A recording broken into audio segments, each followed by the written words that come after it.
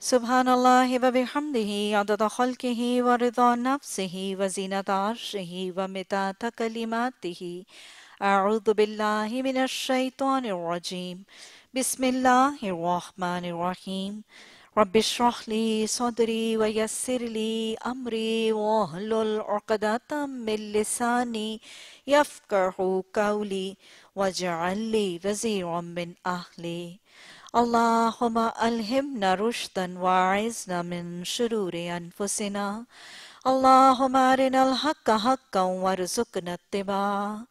اللهم أرنا الباطل باطلا وارزقنا اجتنابه. آمین ثم آمین تفسیر سورہ آل عمران رکو نمبر سیونٹین آیت نمبر ون ففٹی سکس يا أيها الذين آمنوا لا تكونوا كالذين كفروا وقالوا لإخوانهم إذا ضربوا في الأرض أو كانوا عزا لو كانوا عندنا ما ماتوا وهم وما قتلوا ليجعل الله ذلك حسرة في قلوبهم. والله يحيي ويميت والله بما تعملون بصير. اے لوگو جو ایمان لائے ہو، کافروں کسی باتیں نہ کیا کرو۔ گویا کافروں کا ایک انداز دکھا کر بتا کر سکھا کر ہائی لائٹ کر کے مسلمانوں کو اس رویے سے بچنے کی تاکید۔ کہ کافروں کی باتیں نہ کیا کرو۔ کیسی ہوتی ہیں کافروں کی باتیں؟ کہ جن کے عزیز و اقارب کبھی سفر پر جاتے ہیں یا جنگ میں شریک ہوتے ہیں اور وہاں کسی حادثے سے دو چار ہوتے ہیں، تو وہ کہتے ہیں کہ اگر وہ ہمارے پاس ہوتے تو نہ مرتے اور نہ قتل ہوتے۔ اللہ اس قسم کی باتوں کو ان کے دلوں میں حسرت اور اندوح کا سبب بنا دیتا ہے۔ ورنہ دراصل مارنے اور جلانے والا تو اللہ ہی ہے اور تمہاری تمام حرکات پر وہی نگران ہے۔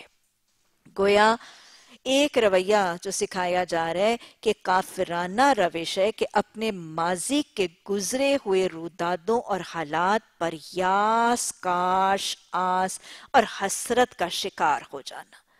وہ کام جو ہو گیا، جو گزر گیا وہ تقدیر میں تھا، وہ قسمت میں تھا، وہ ہمارے ایمان بالقدر کے حوالے سے لازم تھا، برحق تھا، ایسا ہی ہونا تقدیر میں مقرر تھا۔ اب جب وہ معاملہ ہو گیا، وہ کام رونما ہو گیا، وہ سچویشن ہیپن ہو گئی، تو پھر اس کے بعد کاش، یاس، حسرت کا شکار ہونا یہ مومن کا طریقہ اور وطیرہ نہیں ہے۔ یاد رکھیے گا، یہ جو ماضی کے دکھوں اور غموں پہ رونا، دھونا اور حسرتوں کا شکار ہو جانا، یہ ایک منفی رویہ ہے۔ یہ ایک منفی رویہ ہے، ایک نیگٹو سوچ ہے اور یہ وہ طریقہ اور وہ رویہ ہے جو مومن کے اوقات، اس کی صلاحیتیں صرف برباد ہی نہیں کرتی، اس کو ڈپریشن انگزائٹی ٹینشن اور مایوسیوں کے گہرے کھڈ اور دلدل میں پھنسا دیتی۔ تو مسلمان کو ماضی کے حوالے اور ماضی میں آنے والی تکلیفوں، پریشانیوں اور دکھوں کے حوالے سے حسرت سے بچنے کا سے روکا جا رہا ہے۔ کیونکہ یاد رکھیے گا کہ حسرت بذات خود ایک بہت بڑی تکلیف اور عذاب ہے۔ یہ حسرت بذات خود یہ جو یاس، آش، کاش، ہائے ہائے، کبھی ایسا ہوتا ہی نہ نا یہ جو حسرت کا احساس ہے، یہ خود بذات خود ایک بہت بڑا عذاب ہے۔ تو اللہ سبحانہ تعالیٰ مسلمان کو اس یاد ماضی کے حسرت کے عذاب سے بچانا چاہتا ہے، اس نیگٹو اس منفی سوچ اور رویے سے بچا کر اس کی سوچ پوزیٹو کرنا چاہتا ہے۔ یاد رکھے گا، مومن کی زندگی میں ہر مرحلے، ہر شعبے، ہر عمل، ہر سرگرمی اور ہر سچویشن میں اس کا رویہ پوزیٹو ہوتا ہے، مثبت ہوتا ہے پروڈکٹیو ہوتا ہے۔ نان پروڈکٹیو نیگیٹیوسٹک رپورٹ مسلمان کی نہیں ہوتی۔ یاد رکھے گا، مسلمان کا ماضی کے ساتھ تعلق، حال کے ساتھ تعلق اور مستقبل کے ساتھ تعلق بڑا پوزیٹیوسٹک سا ہے۔ ماضی کے حوالے سے مسلمان اپنی کمیوں، کوتاہیوں، اپنی غلط رویوں کو یاد کر کے استغفار کرتا ہے۔ مسلمان کا ماضی کے ساتھ تعلق رونے، دھونے کا اور مایوسی اور ڈپریشن کا نہیں۔ لا تک نہ تم رحمت اللہ۔ تم اللہ کی رحمت سے کیوں مایوس ہو جاتے ہو؟ اللہ کی رحمت سے مسلمان مایوس نہیں ہوتا۔ وہ یاس اور کشرت، یاس اور حسرت اور کاش کا شکار نہیں ہوتا۔ ماضی پر وہ اپنے کمیوں، کوتاہیوں اور اپنے گناہوں کا اعتراف کرتا ہے اور خوب خوب کرتا ہے۔ ندامت کے آنسو بہا کر، استغفار کے الفاظ زبان سے بکار کر، ماضی کے ساتھ اس کا تعلق صرف یہ ہے۔ قصرت سے استغفار کرنا اس کا ماضی کے ساتھ تعلق ہے۔ اس کے علاوہ ماضی کے ساتھ وہ اپنا رشتہ نہیں جوڑتا۔ نہ ماضی کی یادوں کو نہ ماضی کی آرزوؤں کو نہ ماضی کی محرومیوں کو اور نہ ہی ماضی کی جوانی کی تصویروں کو وہ گلے سے اور دیواروں سے لگا لگا کے پھرتا ہے۔ ماضی کے ساتھ اس کا تعلق صرف استغفار کا ہے۔ حال کے ساتھ اس کا تعلق اصلاح کا ہے۔ ان لذین تابو و اسلحو ماضی میں اس نے تابو کیا، ماضی کے رویے میں اس نے توبہ کی، حال میں وہ اپنی اصلاح کرتا ہے۔ فستبق الخیرات کرتا ہے۔ بر کے تصور کے اور نیکیوں کے تصور میں دوڑ لگاتا ہے کہ اس کا حال ہے اور مستقبل میں نظر جنت پر رکھ کے فکر آخرت کرنا اس کا رویہ ہے۔ یہ ہے مسلمان کا حال، ماضی اور مستقبل۔ اللہ ہمیں اپنے زاوی اپنے سوچ، اپنے پیمانے اور اپنے رویے درست کرنے اور منفی ہونے سے بچانے اور مثبت اور پازیٹیو اور پروڈکٹیو کرنے کی توفیق عطا فرما دے۔ اگر تم اللہ کی راہ میں مارے جاؤ یا مر جاؤ، تو جو رحمت اور بخشش تمہارے حصے میں آئے گی، وہ ان ساری چیزوں سے بہتر ہے جنہیں یہ لوگ جمع کرتے ہیں۔ اور خواہ تم مرو یا مارے جاؤ بہرحال تم کو سمٹ کر تو اللہ ہی کی طرف جانا ہے۔ اللہم ارزقنا شہادتا فی سبیلک۔ موت پر حق ہے۔ آنی ہی آنی ہے۔ یہاں سے جانا ہی جانا ہے۔ روانگی اور کوچ لازم حقیقی ہے برحق ہے۔ رخصتی یہاں سے یقینی ہے، تو جب جانا ہی ہے تو ایسے جائیں کہ پہلے خون کے قطرے پہ گناہ بخش دیے جائیں۔ ایسے جائیں کہ جانے کے بعد وہاں کے فضیلت کے درجے نواز دیے جائیں، ایسے جائیں کہ خود بھی بخشے جائیں اور بہت سے، بہت سو کو بخشوانے کا پروانہ بھی دیے جائیں۔ اللہم رزقنا شہادتا فی سبیلک۔ اے پیغمبر صلی اللہ علیہ وسلم، یہ اللہ کی بڑی رحمت ہے کہ تم ان لوگوں کے لیے بہت نرم مزاج واقع ہوئے ہو۔ ورنہ اگر کہیں تم تند خو ہوتے، سخت دل ہوتے، تو یہ سب تمہارے گرد و پیش سے چھٹ جاتے۔ ان کے قصور معاف کر دو، ان کے حق میں دعائیں مغفرت کرو اور دین کے کام میں ان کو شریک مشورہ رکھو۔ پھر جب تم کسی، تمہارا عزم کسی رائے پر مستحکم ہو جائے تو اللہ پر بھروسہ کرو۔ اللہ کو وہی لوگ پسند ہیں جو اس کے بھروسے پر کام کرتے ہیں۔ اور بھروسہ کیسے کرو؟ اللہ تمہاری مدد پر ہوگا تو کوئی طاقت تم پر غالب آنے والی نہیں۔ اور اگر وہ تمہیں چھوڑ دے گا، اللہ ہمیں چھوڑ نہ دینا۔ اللہ کبھی روٹ نہ جانا۔ اللہ کبھی ناراض ہو نہ جانا۔ اللہ سبحانہ تعالیٰ ہمیوں مددگار بن کے، ہمارا پشتبان بن کے، ہمارا نگران محافظ، ہمارا ولی بن کے اللہ سبحانہ تعالیٰ اپنی محبت، اپنی شفقت، اپنی رحمتوں کے سائے میں رکھنا۔ وہ تمہیں چھوڑ دے گا، تو اس کے بعد کون ہے جو تمہاری مدد کر سکے؟ بس جو سچے مومن ہیں، ان کو اللہ ہی پر بھروسہ رکھنا چاہیے۔ اس آیت کریمہ میں اللہ سبحانہ تعالیٰ نے آیت نمبر 159 بہت ہی جامع، اب وہ کہتے ہیں نا جیسے ایک سمندر کو کوزے میں سمو دینا، یہ قرآن کی جامعیت اور قرآن کا ایک انداز ہے۔ اللہ سبحانہ تعالیٰ نے اس آیت میں بنیادی طور پر تو محمد صلی اللہ علیہ وسلم کے اخلاق کا ایک رخ اور ایک زاویہ دکھایا ہے۔ وہ اخلاق جس کے بارے میں اللہ نے قرآن میں فرمایا انَّقَ لَعَلَىٰ عظیم کہ محمد صلی اللہ علیہ وسلم آپ تو اخلاق کے بلند ترین پیمانے اور درجے پر فائز وہ اخلاق جس کے لیے محمد صلی اللہ علیہ وسلم کے حوالے سے تتائشہ نے فرمایا، تقانا خلق القرآن کہ آپ کا اخلاق تو نمونہ قرآن ہے۔ تو آپ کے اخلاق کے حوالے سے ایک زاویہ دکھایا جا رہا ہے کہ آپ بحثیت رہنما، بحثیت قائد، بحثیت سربراہ آپ کے اخلاق نبوی کا کی شان کیسی؟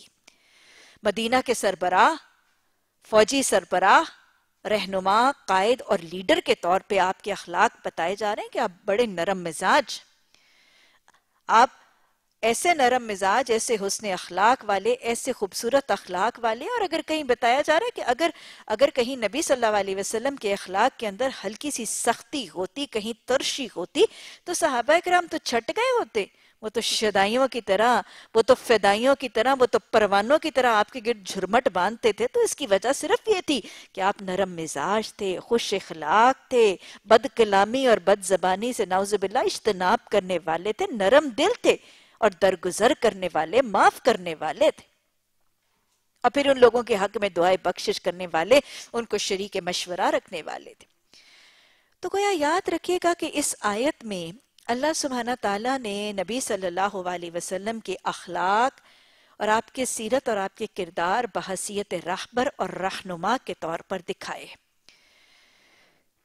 تو ان آیات اور اس آیت کے پیغام میں ہر مسلمان کو جب وہ ایک قائد بن جائے، جب وہ ایک لیڈر بن جائے، جب وہ ایک محکمے کا سربراہ بن جائے، کوئی ہیڈ آف ڈپارٹمنٹ ہے، کوئی جی ایم ہے، کوئی مینیجر ہے، کوئی پروفیسر ہے، کوئی بھی ایک ایک محکمے کا سربراہ، ایک ادارے کا ہیڈ آف ڈپارٹمنٹ یا گھروں میں مرد کیا ہیں؟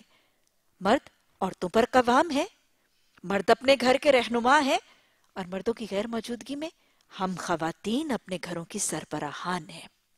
تو لہٰذا اس میں ہر ادارے، ہر سسٹم، ہر انسٹیٹیوشن، ہر آرگنائزیشن جس بھی لیول پر ہے چاہے وہ ایک واپڈا کا ہیڈ آف ڈپارٹمنٹ ہے، چاہے انگلش ڈپارٹمنٹ کا ہیڈ آف ڈپارٹمنٹ ہے، چاہے ایک سرجری کا پروفیسر ہے اور چاہے اپنے گھر کا قائم مرد ہے اور یہاں اس کی غیر موجودگی میں وہ گھر اس کی اس کی بیوی، اس کی رائیہ اس کے گھر کی نگران اور اس کی رہنما ہے، رہنماؤں کے لیے، قائدوں کے لیے اور لیڈرز کے لیے یہاں پر بہترین اصول بتایا گیا کہ جب تم لیڈر بنو یا تمہاری گودوں میں سے نکلنے والے بچے، بیٹے سربراہ بنیں گے تو ان کو یہ اصول سکھا دینا۔ اس آیت کے اندر، اس آیت کے اندر بڑا جامع سا پیغام ہے اور آپ نے آج دیکھا ہوگا تو جابز کرنے والوں کو نا مین مینجمنٹ ٹیکنیک سکھائی جاتی ہیں مین مینجمنٹ ٹیکنیک سکھائی جاتی ہیں ایڈمنسٹریشن ٹریننگ کورسز کروائے جاتے ہیں۔ اور انسانوں کو آپ ڈپارٹمنٹس میں لوگ جاتے ہیں، ان کو ترقی سے پہلے لیڈرشپ ٹریننگ سکلز سکھائی جاتی ہیں۔ تو اس آیت میں کمال درجے کی لیڈرشپ ٹریننگ سکلز ہیں۔ مین مینجمنٹ ٹیکنالوجی بتائی گئی ہے۔ زبردست مین مینجمنٹ کی ایڈمنسٹریشن اور لیڈرشپ ٹریننگ کے سکلز جو ہیں اس کے ساتھ ریفائن کیا جا رہا ہے۔ ایک آیت کے اندر زبردست لیڈرشپ ٹریننگ اچھے قائد کو، اچھے رہنما کو، اچھے لیڈر کو پھر کیسا ہونا چاہیے؟ نرم مزاج ہونا چاہیے۔ مزاج کے اندر، ایک ادارے کے سربراہ کے مزاج کے اندر نرمی ہونی چاہیے، سختی نہیں ہونی چاہیے۔ نرمی کرو، سختی نہ کرو، محبتیں پھیلاؤ، نفرتیں نہ پھیلاؤ۔ میں اور آپ جب اپنے گھر کی میں اور آپ جب اپنے گھر کی رہنما بنتی ہیں، تو ہمیں بھی یہی طریقہ اپنانا ہے۔ مزاج کے اندر نرمی ہونی چاہیے، کرختگی ہارشنس سختی، یہ رویہ نہیں ہے۔ بحثیت قائد سب سے پہلی صفت ہونی چاہیے کہ ان کو نرم مزاج ہونا چاہیے۔ اور پھر بدتمیزی بد زبانی بد اخلاقی بد کلامی اور کسی قسم کی بدخلقی یہ ایک اچھے سربراہ کے لائق نہیں ہے، ایک اچھا سربراہ، حسن اخلاق والا، حسن معاملات والا، حسن سلوک والا، رواداری والا، تحمل والا، بردباری والا ہونا ہے۔ اس کے اندر کسی قسم کی بدتمیزی بد زبانی بد کلامی کا تصور ہونا ہی نہیں چاہیے۔ اب دیکھیں تو صحیح کہ ایک سربراہ اگر بد زبان ہوگا بد کلام ہوگا بد اخلاق ہوگا، بدتمیز ہوگا، گالی گلوچ، لڑائی، جھگڑا، ہر ایک کے ساتھ تانے تشنے، شکوے، شکایتیں کرے گا تو کیا یہی نہیں ہوگا؟ اس کے سارے ماتحت اس کو وائٹ کرنے لگیں گے؟ اس کے ارد و گرد، اس کے گرد و پیش سے چھٹ جائیں گے؟ ایک ٹوٹل ہوسٹیلٹی اور ایک ٹوٹل نفرت اور ایک ٹوٹل اپنے باس سے بیزاری کا سا ماحول کریٹ ہو جائے گا؟ تو لہٰذا یہ حسن اخلاق بھی ایک رہبر اور ایک لیڈر کے لیے لازم ہے، اور پھر اس کو سنگ دل نہیں ہونا چاہیے۔ اس کو نرم دل ہونا چاہیے۔ اپنے ماتحت، اپنے سبارڈینیٹس کی تکلیفوں پر، غموں پر، پریشانیوں پر، مشکلات پر، مسائل پر دل کی نرمی کا طریقہ اختیار کرنا چاہیے۔ بد زبانی سے بچنے کے ساتھ ساتھ سقاوت قلب دل کی سختی سے بچ کر دل کی نرمی کا طریقہ اختیار کرنا چاہیے، خود بھی معاف کر دینا چاہیے، خود بھی درگزر کر دینا چاہیے اگنور کر دینا چاہیے۔ کسی کی غلط روی کے اوپر بودریشن کم کرنے کا طریقہ اختیار کرنا چاہیے اور پھر اللہ سے بھی ان کی کمی اور کتاہیوں کی بخشش مانگنی چاہیے۔ ایک اچھی والدہ کے لیے بھی اس میں بہت خوبصورت اصول ہے۔ ماں کو کیسا ہونا ہے؟ میں اور آپ جب مائیں بنیں گی، انشاءاللہ گھر کی گھر کی ہم رائیہ بنیں گی، اپنے شوہر کی غیر موجودگی میں اس گھر کا بیسک سپوت اور رہنما بنیں گی اور لیڈر بنیں گی، تو ہمارے مزاجوں میں نرمی، دل میں نرمی، اخلاق کے اندر حسن بد زبانی بد کلامی سے اجتناب کر کے درگزر کر دینا، معاف کر دینا۔ یاد رکھیے گا ماں کا دل اتنا بڑا ہونا ضروری ہے۔ ماں کو اولادوں کو معاف کرنا اگنور کرنا۔ یاد رکھیے گا یہ مائیں جب بچوں کے ہر بات کو بہت زیادہ ہائی لائٹ کرتی ہیں اور اس کو بہت زیادہ اچھالتی ہیں اور اس پہ بہت زیادہ اپسیٹ ہوتی ہیں اور اس کو بہت زیادہ تانے تشنے کرٹیسائز کر کے اس کو اریٹیٹ کرتی ہیں، تو یہ رویہ کبھی درست اور کبھی کامیابی تک نہیں پہنچتا۔ ماں کو کیا کرنا ہے؟ جسٹ اگنور جسٹ اگنور ہاں محبت اور خیر خواہی اور خلوص کے ساتھ اس کی تعلیم اور تربیت اور اس کو وہ چیزیں پہنچانی ضرور ہیں، لیکن کمیوں اور کوتاہیوں کو اچھالنا اور ان کو ہائی لائٹ کرنا یہ پسندیدہ نہیں ہے، اس کو معاف کر دیا جائے گا اور درگزر کر دیا جائے گا اور ان کے لیے بخشش کی دعا کے ساتھ ساتھ ایک اور بہت خوبصورت اصول، ایک انسٹیٹیوشن ایک آرگنائزیشن کے لیے، اور گھر بھی یاد رکھیے گا ایک انسٹیٹیوشن اور آرگنائزیشن ہی ہے، شریک مشورہ رکھنا۔ مشاورت کا طریقہ ایک کامیاب محکمے اور تنظیم اور ادارے کے چلانے کے لیے بہت افیکٹو طریقہ ہے۔ اور اللہ سبحانہ تعالیٰ نے محمد صلی اللہ علیہ وسلم کو یہ حکم بھی دیا تھا، آپ کی سنت کا نمونہ بھی ہے، آپ کی سیرت کا خاکہ بھی نظر آ رہا ہے۔ اور آپ دیکھیں جتنے بھی غزوات، جتنے بھی مرحلے، جتنے بھی مشکلات، جتنے بھی انڈیسائیڈڈ سچویشنز ہوتی تھی آپ صلی اللہ علیہ وسلم کثرت سے مشاورت کرتے ہوئے نظر آ رہے عہد سے پہلے آپ مشاورت کرتے ہوئے بدر سے پہلے مشاورت کرتے ہیں، خندق سے پہلے مشاورت کرتے ہیں، تو مشاورت کرنا بھی تنظیمی سطح پر بہت اہم ہے۔ کاؤنسلنگ کرنا، مشورہ لینا، ماتحتوں سے رہنما کا، ماتحتوں سے سربراہ کا ایک ادارے اور تنظیم کی کامیابی کے لیے ضروری ہے۔ یاد رکھیے گا یہ جو بامی مشاورت ہے نا، یہ بھی بڑے مثبت اور پازیٹیو اثرات پیدا کرتی ہے۔ کیا فائدہ ہوتا ہے مشاورت کا؟ کچھ فائدے؟ پہلا فائدہ یہ، اگر مشاورت ہوگی، جب مشاورت نہیں ہوگی تو صرف ایک ذہن سوچے گا۔ صرف ایک آدمی پلان کرے گا، صرف ایک آدمی نیگیٹو و پوزیٹو پروز اینڈ کونس کو وے آؤٹ کرے گا۔ لیکن جب مشاورت ہوگی تو بہت سے ذہن، بہت سی سوچیں مل کر شاید بہت سے مضر اور بہت سے مفید چیزوں کو ہائی لائٹ کرنے میں کامیاب ہو جائیں گی۔ دوسری بات، یاد رکھیے گا جب مشاورت نہیں ہوتی اور فیصلہ یا پلان اناؤنس کر کے سروں پر تھوپ دیا جاتا ہے تو جن سروں پر تھوپا جاتا ہے نا، وہ اس فیصلے کا حصہ نہیں بنتے۔ وہ اس کے اندر انوالو نہیں ہوتے۔ ان کی شمولیت اور پارٹیسپیشن نہیں ہوتا۔ ایک ذمہ داری کا احساس پیدا نہیں ہوتا۔ لیکن اس کے مقابلے میں جب مشاورت کی جاتی ہے، تو ہر شخص جس کو مشیر بنایا جائے، ہر شخص جس سے مشورہ لیا جائے، اس کو اس مشورے، اس فیصلے میں احساس ذمہ داری پیدا ہوتی۔ میں نے بھی تو یہی کہا تھا، میں نے بھی تو مشورہ دیا تھا۔ اس کی وجہ سے ایک احساس ذمہ داری پیدا ہوتی ہے، ایک اہمیت کا احساس پیدا ہوتا ہے۔ توجہ دیے جانے کا احساس پیدا۔ مجھے اہمیت دی گئی ہے، مجھے امپورٹنس دی گئی ہے، مجھ سے مشورہ مانگا گیا ہے۔ اس اہمیت، اس توجہ دیے جانے کی وجہ سے وہ شخص اس فیصلے کو، اس پلان کو کامیاب بنانے کے لیے خود محنت کرتا ہے اور خود ایفرٹ کرتا ہے۔ بنسبت ہے کہ اس حالت میں جب وہ فیصلہ اس کے سر پر تھوپ دیا جائے، بس آج سے ایسا ہی ہوگا۔ نہیں، آج سے کیا کریں؟ کیسے ہوگا؟ جب سب کی مشاورت آئے گی تو اس میں خیر، اس میں بھلائی اور اس فیصلے اور اس پروجیکٹ کے کامیاب ہو جانے کا امکان بڑھ جائے گا۔ سب اس کو ایک اپنا پروجیکٹ سمجھیں گے۔ بنسبت ہے کہ اگر اس پروجیکٹ کو اناؤنس کر دیا گیا۔ گھروں میں انشاءاللہ اگر مشاورت ہوگی تو یہ خیر اور بھلائی کا تصور ضرور پیدا کرے گی۔ لیکن یاد رکھیے گا، یہ مشاورت میں ادب اور اخلاق اور ان تمام چیزوں کو بھی مد نظر رکھنا ضروری ہے۔ مشورہ دینے والے کو اپنے سے بڑے کا ادب، احترام اور مشورہ دینے والے کو بھی لاجک اور دلیل سے بات کرنی لازم ہے۔ بے وقوفوں کی طرح حماقت سے مشاورت دینا یہ بھی مشاورت کا طریقہ اور سلیقہ نہیں۔ بہرحال، آپ صلی اللہ علیہ وسلم نے ایک اچھے قائد اور رہنما کی صفات اللہ سبحانہ تعالیٰ نے دکھائیں اور پھر کہا کہ مشاورت کرو اور مشاورت اور میوچل کاؤنسلنگ کے بعد جب فیصلہ ہو جائے اور پکا عزم اور ارادہ ہو جائے تو پھر تم محنت کرو تم کام پہ جت جاؤ اور پھر فیصلہ اللہ کے حضور اللہ کے حوالے توکل کر کے چھوڑ دو۔ یہی مومنوں کا طریقہ ہوا کرتا ہے۔ اللہ سبحانہ تعالیٰ ایسے اپنے ادارے، اپنی تنظیمیں، اپنے محکمے اور اللہ اپنے گھر کے ماحول کو ایسی مشاورت کے ساتھ چلانے کی توفیق عطا فرما دے۔ کسی نبی کا یہ کام نہیں ہو سکتا کہ وہ خیانت کر جائے۔ وَمَا قَانَا لِنَبِيٍ أَن يَغُلْ یہ کہ وہ غل کرے۔ غل کہتے ہیں خیانت کو۔ خیانت کو کہا جاتا ہے غل۔ غل ہے خیانت کا نام اور خیانت کا مطلب یہ ہے کہ اگر کسی کے پاس کوئی امانت ہو تو اس کو استعمال کرنے میں یا اس کو لوٹانے میں امانت میں کمی کیا جائے۔ فرمایا جا رہے کہ کسی نبی کا کام نہیں کہ وہ غل یعنی خیانت کا کام کرے۔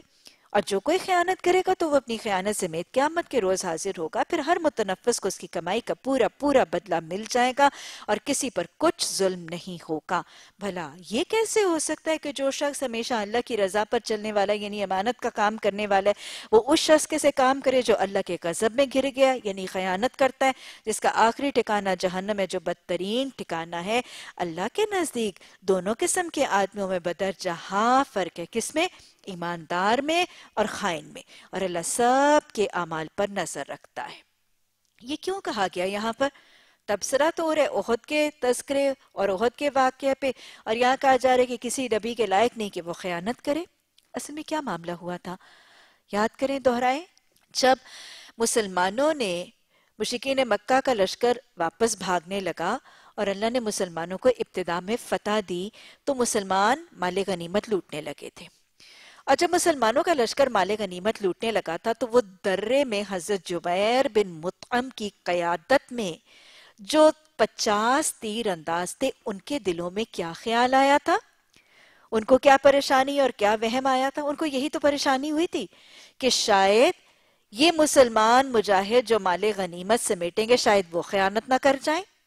اور شاید نعوذ باللہ سمہ نعوذ باللہ، ان کے کچھ کے دلوں میں شیطان نے یہ بھی وسوسہ ڈال دیا تھا کہ شاید نبی صلی اللہ علیہ وسلم اس اس مال غنیمت کی تقسیم میں کہیں کوئی ناانصافی کا ارتکاب نہ کر دیں اور ہم مال غنیمت سے محروم نہ رہ جائیں جو وہ مجاہد سمیٹ رہے ہیں۔ اسی مال کے حرس کے آنے کے بعد اور مال کی محبت کے امر آنے کے بعد جب یہ خیانت کا فکر آیا تو اس کے بعد انہوں نے نافرمانی کی تھی اپنے رہنما کی بھی اور نبی صلی اللہ علیہ وسلم کے احکامات کی بھی۔ تو لہٰذا اس حوالے سے یہ امکان ذہنوں میں سے نکالا جا رہا ہے کسی نبی کے یہ لائق نہیں ہے کہ وہ خیانت کرے۔ اور رہتی دنیا تک یہ امکان اور یہ وسوسہ نکالنا ضروری تھا کہ آپ امین ہیں۔ آپ امین ہیں کیونکہ نبی کا امین اور صادق ہونا ہی تو لازم ہے۔ وہ اللہ کی تعلیمات اور اللہ کی وحی کی احکامات کو اگر صداقت سے پہنچائیں گے اور پوری امانت سے پہنچائیں گے، تبھی تو ان کا اتباع ممکن ہوگا۔ تو لہٰذا یہ جو ہلکا سا امکان آیا تھا، اس وجہ سے اللہ سبحانہ تعالیٰ نے اس خیانت کے وسوسے کے تدارک اور اس کو دور کرنے اور رد کرنے کے لیے یہ آیت میں نازل کر دیا۔ یہ کسی نبی کے لائق نہیں کہ وہ خیانت کرے۔ اور اگر نبی کے لائق نہیں تو نہ ہی نبیوں کے پیروکاروں کے لیے لائق ہے۔ وہ کسی شکل میں کوئی رنگ کی خیانت کا ارتکاب کرے۔ اور ویسے بھی اس کے پیچھے ایک اور واقعہ بھی اس کے ساتھ کچھ تفاصیر کی کتابوں میں موجود ہے۔ واقعہ کچھ یوں آتا ہے کہ حضرت علی نے دمشق سے نبی صلی اللہ علیہ وسلم کو توفتن حدیتن ایک تحفہ روانہ کیا۔ حضرت علی دمشق میں تھے۔ وہاں سے حضرت علی نے نبی صلی اللہ علیہ وسلم کے لیے حدیتن توفتن توفہ بھیجا اور اس میں تھا، کیا ایک چمڑے کی تھیلی تھی؟ اور خام سونے کے تین یا چار ڈلیاں تھی آپ کو پتہ ہے کہ سونا ایک تو پیور فارم میں ہوتا ہے اور جو کروڈ یا رو فارم میں خام سونا ہوتا ہے، وہ پتھر کی شکل میں ہوتا ہے، جس میں سے سونا فائنلی نکالا جاتا ہے۔ تو حضرت علی نے وہ چمڑے کی تھیلی میں خام، سونے کی چار یا تین ڈلیاں تھیں جو اس چمڑے کی تھیلی میں تھیں۔ یہ توفتن آپ صلی اللہ علیہ وسلم کو جب بھیجی گئیں، آپ صلی اللہ علیہ وسلم مسجد نبی میں صحابہ اکرام کی محفل کے درمیان تشریف فرماتے جب آپ نے وہ تحفہ دیکھا۔ تو آپ کے تو کے الفاظ ہیں نا کہ میرے پاس اگر ڈھیر سا بھی مال ہو تو میں نہیں چاہوں گا کہ میرے پاس تین دن، تین رات اس حال میں گزرے کہ اس میں سے کچھ بھی میرے پاس موجود۔ اب یہ سونے کی ڈلیاں، خام سونے کی ڈلیاں نکلی آپ نے محفل میں ذرا نظر گھمائی جو آپ کو مستحق لگے تھے یا معلفہ قلوب کے حوالے سے؟ آپ نے اسلام کی طرف الفت ڈالنے کے حوالے سے یا جو مالی طور پر تنگ دست لگے؟ واللہ عالم جو آپ صلی اللہ علیہ وسلم کی حکمت تھی، آپ نے تین صحابہ اکرام کو یہ تو فتن صدقتن یہ ہدیہ ان کو دے دیا۔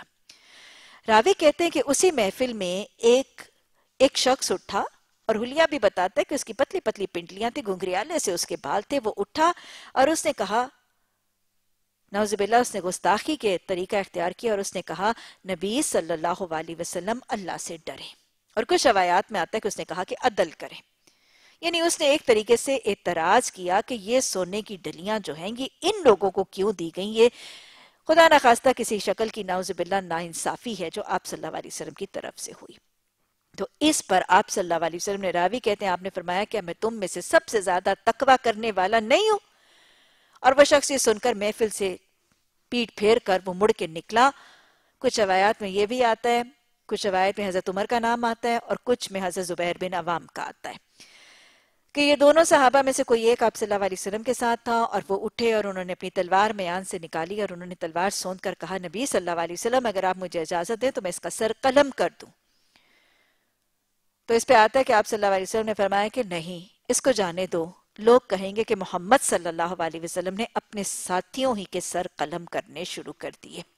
اپنے ساتھیوں ہی کی گردنیں مارنی شروع کر دی یہ شخص چلا گیا اور اس کے بعد آپ صلی اللہ علیہ وسلم نے اس ہی شخص کی ضروریت کے حوالے سے پیشن گوئی فرمائی کہ انقریب انقریب اس کی نسل میں سے کچھ لوگ اٹھیں گے۔ یعنی یہ جو گستاخ تھا، اس کی نسل کا حال کیا ہوگا؟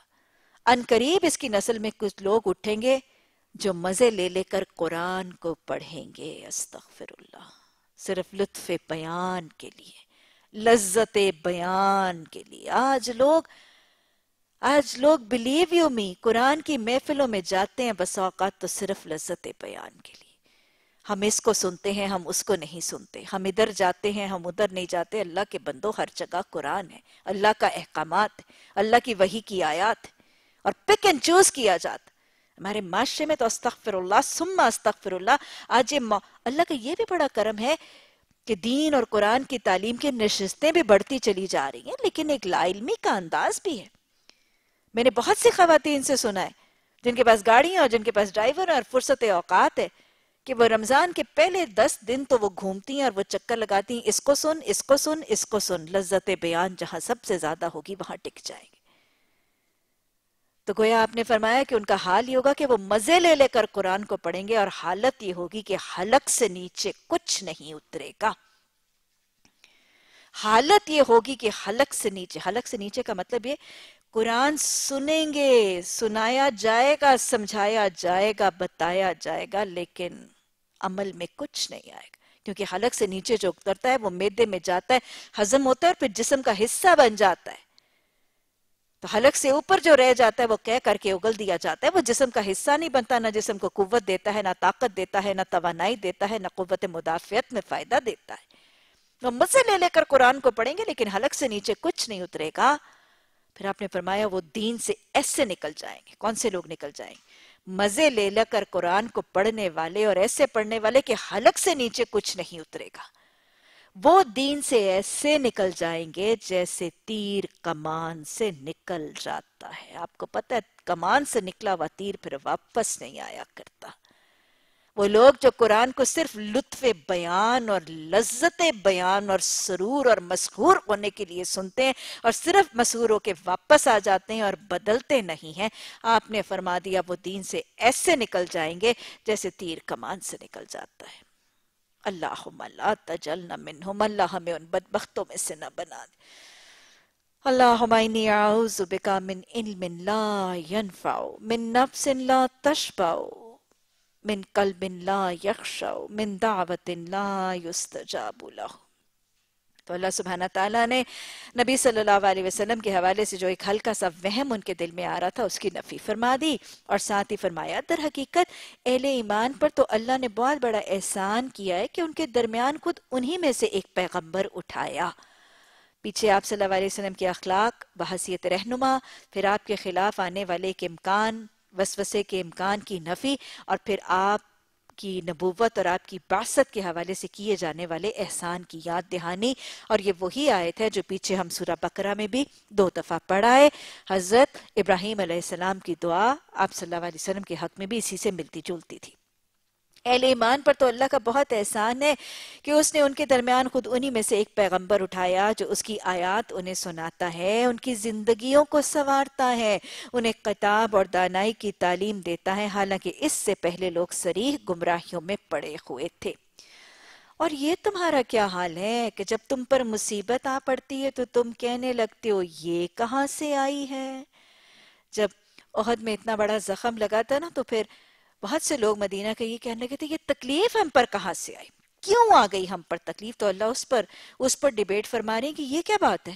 یہ تم کیا کہہ رہے ہو کہ یہ تکلیف کہاں سے آئی ہے؟ ایک تو تبصرہ کیا گیا، حالانکہ جنگ بدر میں سے دگنی مصیبت تمہارے ہاتھوں فریق مخالف پر پڑ چکی ہے۔ اے نبی صلی اللہ علیہ وسلم، ان سے کہو، کن سے کہو؟ یہ صحابہ اکرام اللہ کے اتنے پسندیدہ لوگ، صحابہ اکرام اجمعین کو کہا جا رہا ہے، ان سے کہو یہ مصیبت تمہاری اپنی لائی ہوئی ہے۔ اللہ ہر چیز پر قادر ہے۔ یہ تکلیف کے ملنے پر یہ رویہ بہت اہم ہے اور اس کو مد نظر رکھنا بھی بہت ضروری ہے۔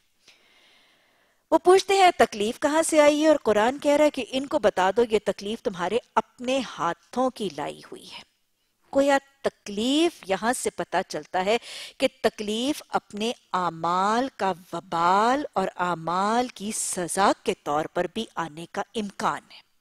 اور جب آتی ہے تو ہو سکتا ہے، این ممکن ہے کہ وہ کسی کی اعمال کی سزا، پکڑیاں عذاب کے طور پر ہو قرآن میں اللہ سبحانہ تعالیٰ نے یکجا کر کے تو نہیں، لیکن بکھرے ہوئے موتی، مونگی اور خزانوں کی شکل میں مسلمان کو گاہے بگاہے تکلیف، خوشی، غمی، پریشانی، دکھ، آزمائش میں نمٹانے اور اپنانے کے طریقے سکھائے۔ کسی ایک جگہ پہ سنگل شکل میں پورے کا پورا خلاصہ نہیں بتا دیا۔ تکلیف آئے گی تو یہ یہ یہ یہ کرنا، خوشی ملے گی تو یہ یہ یہ کرنا، یہ ایسے نہیں ہے۔ رودادیں سنائی گئیں، تذکرے کیے گئے، کہیں ایک اصول، کہیں دوسرا اصول، وہاں پہ روداد کے مطابق جو اصول تھا وہ وہاں بتا دیا، پھر اگلے قصے کہانی میں جو اصول آتا ہے وہ وہاں بتا دیا۔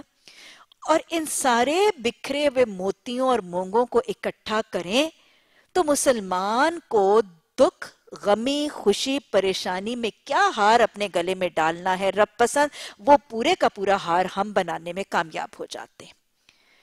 مختلف ایسپیکٹس میں ہمیں تکلیف اور غم میں مختلف رویے قرآن سکھاتا ہے۔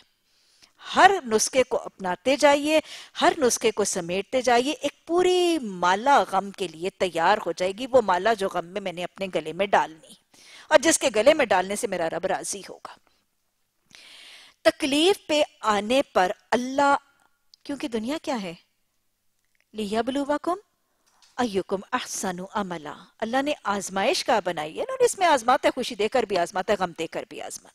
غم، دکھ، پریشانی کے آنے پر اللہ ہم سے کیا رویہ، کیا ریسپانس ایٹیٹیوڈ اور بیہیوئر ایکسپیکٹ کرتا ہے، ہمیں کیسے ریاکٹ کرنا ہے؟ یہاں پہ ایک بات پتا چل رہی ہے۔ باقی باتیں میں آپ کو سمری کی شکل میں اگر بتاؤں، تکلیف دے کر، غم دے کر، دکھ، چاہے وہ مالی ہے، چاہے جسمانی ہے، چاہے بیماری ہے، چاہے مزاق ہے، چاہے کرٹیزم ہے، کوئی بھی دکھ ہے۔ اس تکلیف کے آنے پر پہلا، پہلی چیز جو اللہ ایکسپیکٹ کرتا ہے کہ یہ بندہ کیا کرے، شکر کرے۔ تکلیف تو یہ آئی، شکر کا کا کرے؟ ارے، باقی چیزیں نہیں چھینی۔ باقی رحمتیں تو مل گئیں۔ باقی برکتیں تو شامل حال ہیں۔ پہلا چیز شکر ہے، ہر حال میں شکر۔ کیونکہ یاد رکھیے گا، یہ شکر ہوتا ہے تو رویہ مثبت ہوتا ہے۔ تکلیف کے آتے سب سے پہلے شکر۔ ایک ٹانگ ٹوٹی ہے، شکر ہے، دونوں نہیں ٹوٹ گئی یہ شکر۔ بہت سی باتیں ہیں اس کو شکر کرنے کو۔ سب سے پہلے شکر، پھر اس کے بعد رب کا ذکر۔ کیونکہ یاد رکھے گا، تکلیف کے آتے سار بس اوقات صبر فوراً نہیں ہوتا۔ صبر بس اوقات ہو ہی نہیں پاتا۔ صبر کے پہلو نظر ہی نہیں آتے۔ شکر ہوگا، پھر ذکر ہوگا۔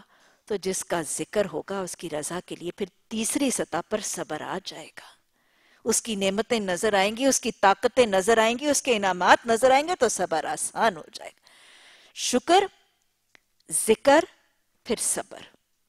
پھر جب صبر آ گیا، کچھ ہوش آ گئی، حواس ضابطہ کچھ درست ہوا، تو پھر جھولی پھیلانی ہے۔ اس کی طرف پلٹنا ہے۔ صرف اور صرف اس کی طرف حاجت روائی کرنی ہے۔ انما اشکو بسی و حزنی الاللہ اسی سے شکوہ، اسی سے شکایت، اسی کے آگے رونا، اسی کے آگے دھونا، اسی کو اپنی حاجت، اسی کو اپنی ضرورت بتانا۔ اس کی طرف پلٹنا ہے۔ پلٹنے کے بعد جس کی طرف پلٹے ہیں، جس کو حاجت بتائیے، پھر اس پر توکل کرنا ہے۔ اور یہ سارا کچھ کر کے راضی برضا صابر شاکر بن کے زندگی گزارنی ہے۔ یہ ہے تکلیف کے آنے پر رویہ، جو ہمیں گاہے بگاہے کبھی اللہ صبر کہے گا، کبھی شکر کہے گا، کبھی ذکر کہے گا۔ یہ پوری مالا میں نے آج آپ کو پہنا دی۔ لیکن یہاں پر ساتھ ایک اور رویہ، کہ جب تکلیف آئے، تم شکر کر لو، ذکر کر لو، صبر کر لو، اس کے آگے جھولی پھیلانے کے بعد توکل کر لو، راضی برضا بن جاؤ تو پھر ایک اور کام کرنا۔ یہ تکلیف کے آنے کی وجہ کھنگالتے وقت اپنے گریبان میں جھانک لینا، یہ یاد رکھنا کہ این ممکن ہے یہ تکلیف تمہارے رب کی ناراضگی کی وجہ بن جائے۔ جب سارے تمہارے حواس ثابت ہو جائیں اور تم ہوش اور سکون میں راضی برضا ہو جاؤ، تو پھر یہ یاد کرنا، سوچنا کہ یہ تکلیف آئی کیوں ہے۔ اور پھر یہ سوچ لینا کہ یہ تکلیف تمہارے اپنے ہاتھوں کی لائی ہوئی۔ دیکھیں صحابہ اکرام اجمعین رضی اللہ عنہم کی کمیوں کتاہیوں کی وجہ سے اگر ان پر تکلیف آ سکتی تھی تو میری اور آپ کی کمیوں کتاہیوں کا تو انبار ہے۔ ہمیں تو ہماری کمیوں اور کتاہیوں کے انبار کی وجہ سے یقیناً آ سکتی ہے۔ تو تکلیف کے سارے پہلے رویے گزارنے کے بعد پھر فائنلی یہ سوچنا کہ یہ میرے کون سے عمل، میری کون سی خطا اور کون سی کمی کی وجہ سے یہ رب کی پکڑ، رب کی ناراضگی یا رب کا عذاب آیا ہے۔ اپنے گریبان میں جھانک کے اور دیکھیں اور سوچیں کہ یہ میری کسی کمی اور کتاہی یا خطا یا گناہ کی بنیاد پر یہ تکلیف آئی ہے۔ یہ میں آپ کو لکھ کے دیتی ہوں کہ اس تکلیف کی وقت میں جب میں اپنے گریبان میں جھانکوں گی تو ایک نہیں، بیسیوں گناہ ایسے نظر آئیں گے جو اس کی وجہ نظر آئیں گے۔ ایک عیب نہیں نظر آئے گا اس وقت۔ بہت سے گناہ، بہت سی کمیاں، بہت سی خطائیں یقینا نظر آئیں گی۔ اور یہ فیصلہ کرنا مشکل ہو جائے گا کہ ان میں سے کس کی بنیاد پر تکلیف آئی؟ ان میں سے کسی ایک کو چن لیجیے گا۔ ان میں سے کسی ایک کبھی کو چن لیجیے گا۔ یہ جو مجھ پر اس دفعہ دکھ آیا ہے نا، میری فلاں زبان کی تباہ کاری کی بنیاد پر ہے۔ میری نماز کی کمی کی بنیاد پر ہے۔ بہت سی کتائیاں نظر آئیں گی، کسی کو کچھ، کسی کو کچھ۔ یہ میری بے حجابیوں کی وجہ سے ہے۔ کچھ نظر آ جائے گا۔ اس میں سے ایک کو آئیڈینٹیفائی کر لیجیے گا۔ اس کا اعتراف کر لیجیے۔ ہوگا کیا؟ اعتراف کے بعد استغفار۔ اعتراف، استغفار، ندامت، توبہ اور اصلاح کا وعدہ۔ اس کا پتہ فائدہ کیا ہوگا؟ حدیث میں آتا ہے نا، جو شخص استغفار کو اپنے لیے لازم کرتا ہے، اللہ ہر تکلیف سے نکلنا اس کے لیے آسان کر دیتا ہے۔ یہی تو ہے وہ نسخہ۔ جو شخص استغفار کو اپنے لیے لازم اور یاد رکھے گا، یہ استغفار میں بہت دفعہ بتاتی ہوں، یہ سو دفعہ استغفر اللہ کی تسبیح نہیں ہے۔ یہ کیا ہے؟ یہ استغفار اپنے اپنے گریبان میں جھانک کر اپنی کسی کمی کوتاہی کا کنفیشن اور اعتراف کے ہاں میں کرتی ہوں ایسے۔ اس کو ایکسپٹ کر لینا اور پھر نادم ہو کر اللہ سے استغفار کر لینا، توبہ کر لینا۔ اور پھر اصلاح کا وعدہ کر کے اس کی رضا کی طرف چل پڑنا۔ ہر تکلیف کے آنے پر، ہر غم، دکھ، بیماری، پریشانی، مالی تنگی، ہر مشکل کے آنے پر اگر مومن یہ رویہ کرے گا، میرے رب کو کوئی فرق نہیں پڑے گا، فرق پڑ جائے گا اس کو۔ اس کی دنیا بدل جائے گی، اس کی دل کی حالت بدل جائے گی۔ اور یہ تکلیف جو اس کی قسمت میں تھی اور اس نے کاٹنی ہی کاٹنی تھی یہ تکلیف پھر اس کے لیے زحمت نہیں، اس کے لیے باعث رحمت بن جائے گی۔ کیسے؟ یہ میں پھر بتا رہی ہوں، یہ تکلیف جو اس کی تقدیر میں تھی، جو اس پر آ ہی گئی تھی اور اس نے کاٹنی ہی کاٹنی تھی، مقدر تھا اس نے، کاٹنی ہی کاٹنی تھی۔ وہ باعث زحمت کی بجائے وہ اس مومن استغفار کرنے والے کے لیے رحمت بن جائے گی۔ کیسے؟ ظاہر ہے وہ جب استغفار کرے گا، اس کے کچھ گناہ بخشے جائیں گے۔ یہ ہے رحمت۔ اور وہ جب اصلاح کرنے کا وعدہ کرے گا، تو وہ ایک گناہ سے نجات پا کے ایک نیکی کا عادی بن جائے گا۔ رحمت، یہ ہے زحمت۔ وہ تکلیف جو زحمتیں دے کے جانے والی تھی، وہ میرے گناہوں کی بخشش کا ذریعہ بن جائے گی۔ وہ میرے سے گناہ جھاڑنے کا توسط بن جائے گی۔ اور وہ مجھے ایک نیک عمل کرنے اور ایک برائی سے بچنے کا طریقہ اور وطیرہ سکھانے کا ذریعہ اور وسیلہ بن جائے گی۔ یہ ہے وہ بیماری یا تکلیف جو اس مومن صابر شاکر اور اپنے محاسبہ اور استغفار کرنے والے کے اوپر جب تکلیف آئے تو وہ یہ سوچے کہ میری فلاں وجہ سے ہے اور وہ اپنی اصلاح کر لے تو یہ تکلیف زحمت نہیں، رحمت بن جائے گی۔ یہ وہی ہے جو حضرت عمر سے کسی نے پوچھا کہ یہ کسی کو کیسے پتا چلے کہ کوئی آنے والی تکلیف اللہ کا عذاب ہے یا آزمائش؟ تو انہوں نے کہا کہ وہ تکلیف جو تجھے تیرے رب کے قریب کر دے، وہ تکلیف جو تجھے تیرے رب کے قریب کر لے، وہ رب کی آزمائش ہے۔ اور وہ تکلیف جو تجھے رب سے دور کر دے، وہ اللہ کا عذاب ہے۔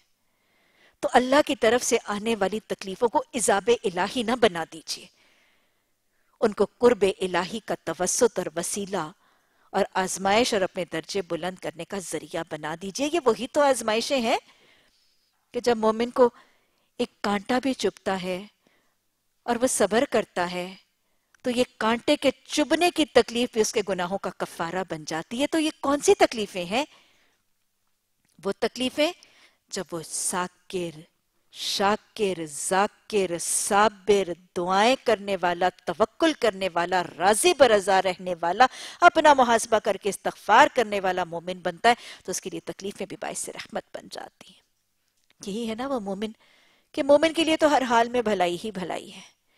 اسے بھلائی اور خیر ملتی ہے، وہ شکر کرتا ہے، اسے تکلیف ملتی ہے، وہ صبر کرتا ہے۔ اور دونوں حالتوں میں اللہ کی رضا اور اللہ کی رضا جوئی پانے میں کامیاب ہو جاتا ہے۔ اللہ ہر چیز کو ہم سب کے لیے باعث رحمت بنا دے۔ اللہ رب پسند طریقہ اور وطیرہ اللہ ہم سب کو سکھا بھی دے، بتا بھی دے، سمجھا بھی دے۔ اور اللہ یہ اپنے رب پسند لڑیاں اور یہ موتیاں، یہ موتی اپنے ہار اپنے گلوں میں ڈالنے کی بہترین توفیق عطا بھی فرما دے۔ اللہم جعلنی صبورا و جعلنی شکورا۔ اللہم جعلنی صبورا و جعلنی شکورا و جعلنی فی عینی صغیرہ و فی عیون الناس کبیرہ اور یہ میں آپ کو ایک دفعہ نہیں دہراؤں گی۔ تکلیف اور دکھ میں آنے والا رویہ ہم بار ہاں دہرائیں گے۔ اور اتنی دفعہ دہرائیں گے، اور خود بھی اس کو اتنی دفعہ دہرا لیجیے کہ یہ تکلیف میں آنے والا رویہ آپ کی فطرت ثانیہ بن جائے، آپ کی سیکنڈ انسٹنکٹ بن جائے۔ سیکنڈ انسٹنکٹ کیا ہوتی ہے؟ آگ پر ہاتھ رکھا، فطرت ثانیہ کیا ہے؟ فوراں پرے کر لیا۔ سوچنا پڑا تھا۔ کوشش کرنی پڑی تھی۔ فطرت ثانیہ سمجھ آئی کیا ہوئی؟ میں نے بجلی کی تار کو ہاتھ لگایا میں نے فوراں پیچھے، یہ ہے سیکنڈ انسٹنکٹ اب اپنے لیے یہ تکلیف پہ آنے والے رویے کو اتنا ذہن نشین کر لیجیے کہ یہ رویہ آپ کی فطرت ثانیہ بن، تکلیف آئے، مجھے سوچنا نہ پڑے، مجھے تردد نہ کرنا پڑے آٹومیٹکلی سپونٹینیسلی تکلیف کے آتے میں شکر کرنے لگوں، پھر میں ذکر کرنے لگوں، پھر میں صابر بن جاؤں، دعا کروں، توکل کر کے اپنے کام میں جت جاؤں اور پھر ساتھ ہی محاسبہ اور استغفار کروں۔ اللہ اس کو ہماری فطرت کا حصہ بنا دے۔ اللہ اللہ اس صبر اور شکر اور توکل کے رنگ میں ہم سب کو رنگ دے۔ اللہ اپنا صابر، اپنا شاکر اور اللہ سبحانہ تعالیٰ کثرت سے ذاکر بندہ بننے کی توفیق عطا فرما دے۔ اللہ سبحانہ تعالیٰ نے فرمایا، اے نبی، ان سے کہو یہ مصیبت تمہاری اپنی لائی ہوئی ہے، اللہ ہر چیز پر قادر ہے۔ جو نقصان لڑائی کے دن تمہیں پہنچا، وہ اللہ کے اذن سے تھا۔ تکلیف اسی کے حکم سے آتی ہے۔ جب آئی اس کے حکم سے، تو جائے گی کس کے حکم سے؟ اسی کے حکم سے۔ تو پھر تکلیف کے آنے پر راضی کس کو رکھنا ہے؟ اسی کو جس کے حکم سے جائے گی۔ وہ راضی کیسے رہتا ہے؟ صبر سے، شکر سے، دعا سے، ذکر سے اور توکل سے۔ اللہ یہ طریقے سکھا دے وہ اللہ کے اذن سے تھا اور اس لیے تھا کہ اللہ دیکھ لے کہ تم میں سے مومن کون ہے اور منافق کون۔ وہ منافق کے جب ان سے کہا گیا کہ آؤ اللہ کی راہ میں جنگ کرو یا کم از کم اپنے شہر ہی کی مدافعت کرو، تو کہنے لگے کہ اگر ہمیں آج علم ہوتا کہ جنگ ہوتی ہے تو ہم ضرور ہی تمہارے ساتھ چلتے۔ یہ بات جب وہ کہہ رہے تھے، اس وقت وہ ایمان کی بنسبت کفر سے زیادہ قریب تھے۔ وہ اپنی زبانوں سے وہ باتیں کہتے ہیں جو ان کے دلوں میں نہیں، جو کچھ دلوں میں وہ چھپاتے ہیں۔ اللہ اس کو خوب جانتا ہے۔ یہ وہی لوگ ہیں جو خود تو بیٹھے رہتے ہیں اور ان کے جو بھائی بند لڑنے کے لڑنے گئے اور مارے گئے، ان کے متعلق انہوں نے کہہ دیا، اگر وہ ہماری بات مان لیتے تو نہ مارے جاتے۔ یہ منافقین نے کہا تھا نا، منافقین نے شروع میں کیا کہا تھا؟ ہم مدینہ میں ہی لڑتے ہیں اور ہم نے باہر جا کے نہیں لڑنا۔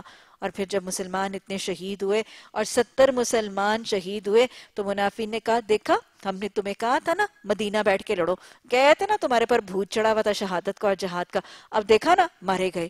ہماری بات مانتے، تم کبھی نہ مارے جاتے۔ اللہ سبحانہ تعالیٰ نے ایسی خام بحث اور بکواس کرنے والوں کا جواب کیا دیا۔ اگر وہ ہماری بات مان لیتے تو کبھی نہ مارے جاتے۔ ان سے کہو، اگر تم اس اتنے، اس کال میں سچے ہو تو جب تمہاری موت آئے گی تو اسے ٹھال کر دکھا دینا۔ یعنی تمہارا خیال ہے، تمہاری مشاورتیں، تمہارے فیصلے، تمہاری اتنی سیانی ہے کہ تم لوگوں کی موتیں ٹال دیتے ہو۔ اچھا جب تمہاری اپنی موت آئے گی نا تو اپنے فیصلے سے اور اپنی پلاننگ سے اپنی موت ٹال لینا۔ جو لوگ اللہ کی راہ میں قتل ہوئے ہیں، انہیں مردہ نہ سمجھو۔ وہ تو حقیقت میں زندہ ہیں، اپنے رب کے پاس رزق پا رہے ہیں۔ جو کچھ اللہ نے اپنے فضل سے انہیں دیا، اس پر خوش اور خرم ہے۔ کیا ہوتا ہے؟ سب پرندوں کی شکل میں آسمان میں اڑ رہے ہیں نا، جنتوں میں اڑ رہے ہیں۔ حدیث میں آتا ہے نا کہ شہیدوں کی ارواح سبز پرندوں کی شکل میں جنت کے باغات میں اڑتی پھرتی ہیں۔ سارا دن پہم اپنا رزق پاتی ہیں۔ اور پھر جب رات کا اندھیرا ہوتا ہے تو اللہ کے عرش کے ساتھ جو قندیل معلق ہیں ان میں قیام بزیر ہوتی ہیں۔ تو اللہ نے فرمایا کہ ان کو مردہ نہ سمجھو۔ وہ خوش و خرم میں مطمئن ہیں کہ جو اہل ایمان ان کے پیچھے دنیا میں رہ گئے، کیونکہ آپ کو پتہ ہے شہیدوں کو شفاعت کا حق بھی دیا جائے گا۔ تو وہ شہید خود تو رس پا رہے ہیں اور اپنے پیچھے والوں کے لیے مطمئن ہے کہ جو وہاں پہ رہ گئے اور ابھی وہاں نہیں پہنچے، ان کے لیے بھی کسی خوف اور رنج کا موقع نہیں۔ شہید اپنی ماں کے لیے بھی مطمئن ہے، اپنے، اپنی بیوہ کے لیے بھی مطمئن ہے اور اپنے بچوں کے لیے بھی مطمئن ہے اللہم ارزقنا شہادتا فی سبیلک. وہ ان کے لیے مطمئن ہے اور ابھی وہاں نہیں پہنچے، ان کے لیے بھی کسی خوف اور رنج کا موقع نہیں، وہ اللہ کے انعام اور اس کے فضل پر شاداں فرحا ہے اللہ اس انعام کا یقین عطا فرما دے۔ اور ان کو معلوم ہو چکا ہے کہ اللہ مومنوں کے اجر کو ضائع نہیں کیا کرتا۔ جن لوگوں نے زخم کھانے کے بعد بھی اللہ اور اللہ کے رسول کی پکار پر لبیک کہا۔ اور کہا، ان میں سے جو لوگ نیکوکار تھے اور پرہیزگار تھے، ان کے لیے بہت بڑا اجر تھا۔ اور وہ جن سے لوگوں نے کہا کہ تمہارے خلاف بہت بڑی بڑی فوجیں جمع ہیں، ان سے ڈرو۔ تو یہ سن کر ان کا ایمان اور بڑھ گیا اور انہوں نے جواب دیا کہ ہمارے لیے اللہ کافی ہے اور وہی بہترین کارساز ہے۔ یہ کس پر تبصرہ کیا گیا؟ رودات تو ساری وقت کی آ رہی ہے۔ یہ کس پر کہا گیا کہ زخم کھانے کے بعد بھی انہوں نے اللہ اور اللہ کے رسول کی پکار پر صلی اللہ علیہ وسلم کی پکار پر لبیک کا اور لوگوں نے ان کو ڈرایا کہ مت جانا، بہت بڑا لشکر ہے۔ تو انہوں نے کیا کہا؟ حسبن اللہ و نعم الوکیل، کہ نہیں، ہمیں اللہ کافی ہے۔ یہ بنیادی طور پر غزوہ اخت کے بعد غزوہ ہمراہ الاسد کے نام سے یہ روداد موجود ہے۔ غزوہ ہمراہ الاسد۔ ہوا کیا کہ جب میں نے آپ کو بتایا تھا نا، رودات تو ہم نے وہاں تک سنی تھی کہ جب نبی صلی اللہ علیہ وسلم بالکل تنہا رہ گئے تھے تو کچھ مٹھی بھر سرفروش آئے تھے۔ آپ صلی اللہ علیہ وسلم کی جان کی حفاظت کی تھی اور پھر یہ کٹا ہوا زخمی نڈھال پورے کا پورا جو لشکر تھا، یہ واپس مدینہ میں داخل ہوا۔ ہاں مدینہ کی عورتوں نے بڑی ہی حوصلے اور بڑی ہی جرت اور بڑے صبر اور استقامت اور عظیمت کا مشاہدہ کیا۔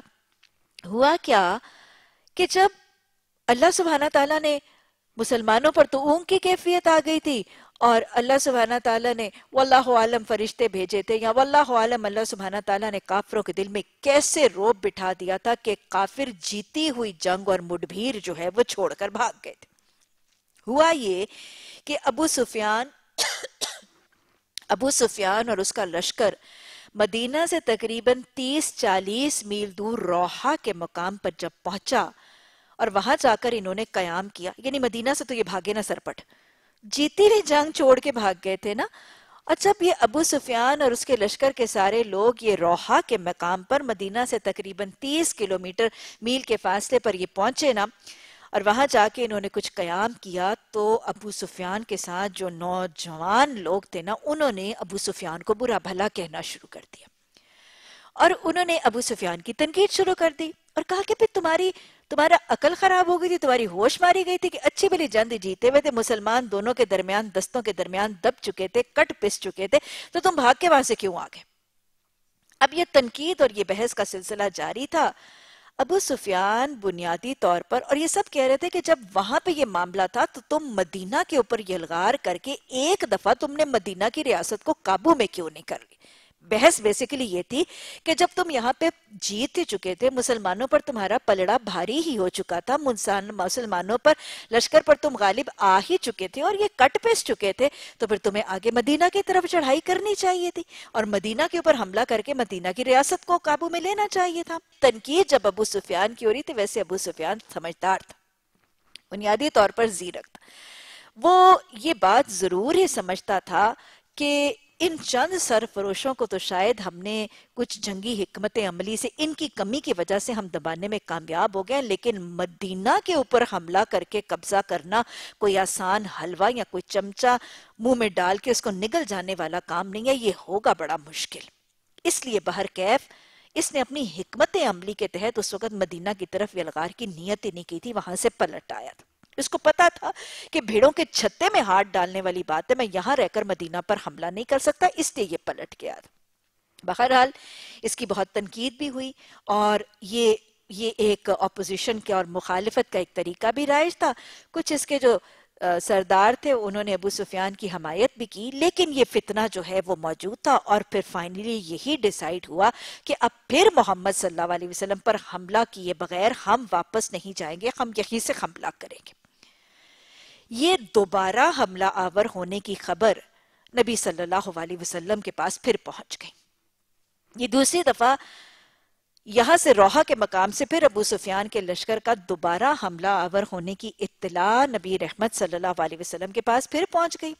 اور آپ صلی اللہ علیہ وسلم نے پھر مدینہ میں مسجد نبی میں سب صحابہ کو جمع کرنے کے لیے اعلان فرما دیا۔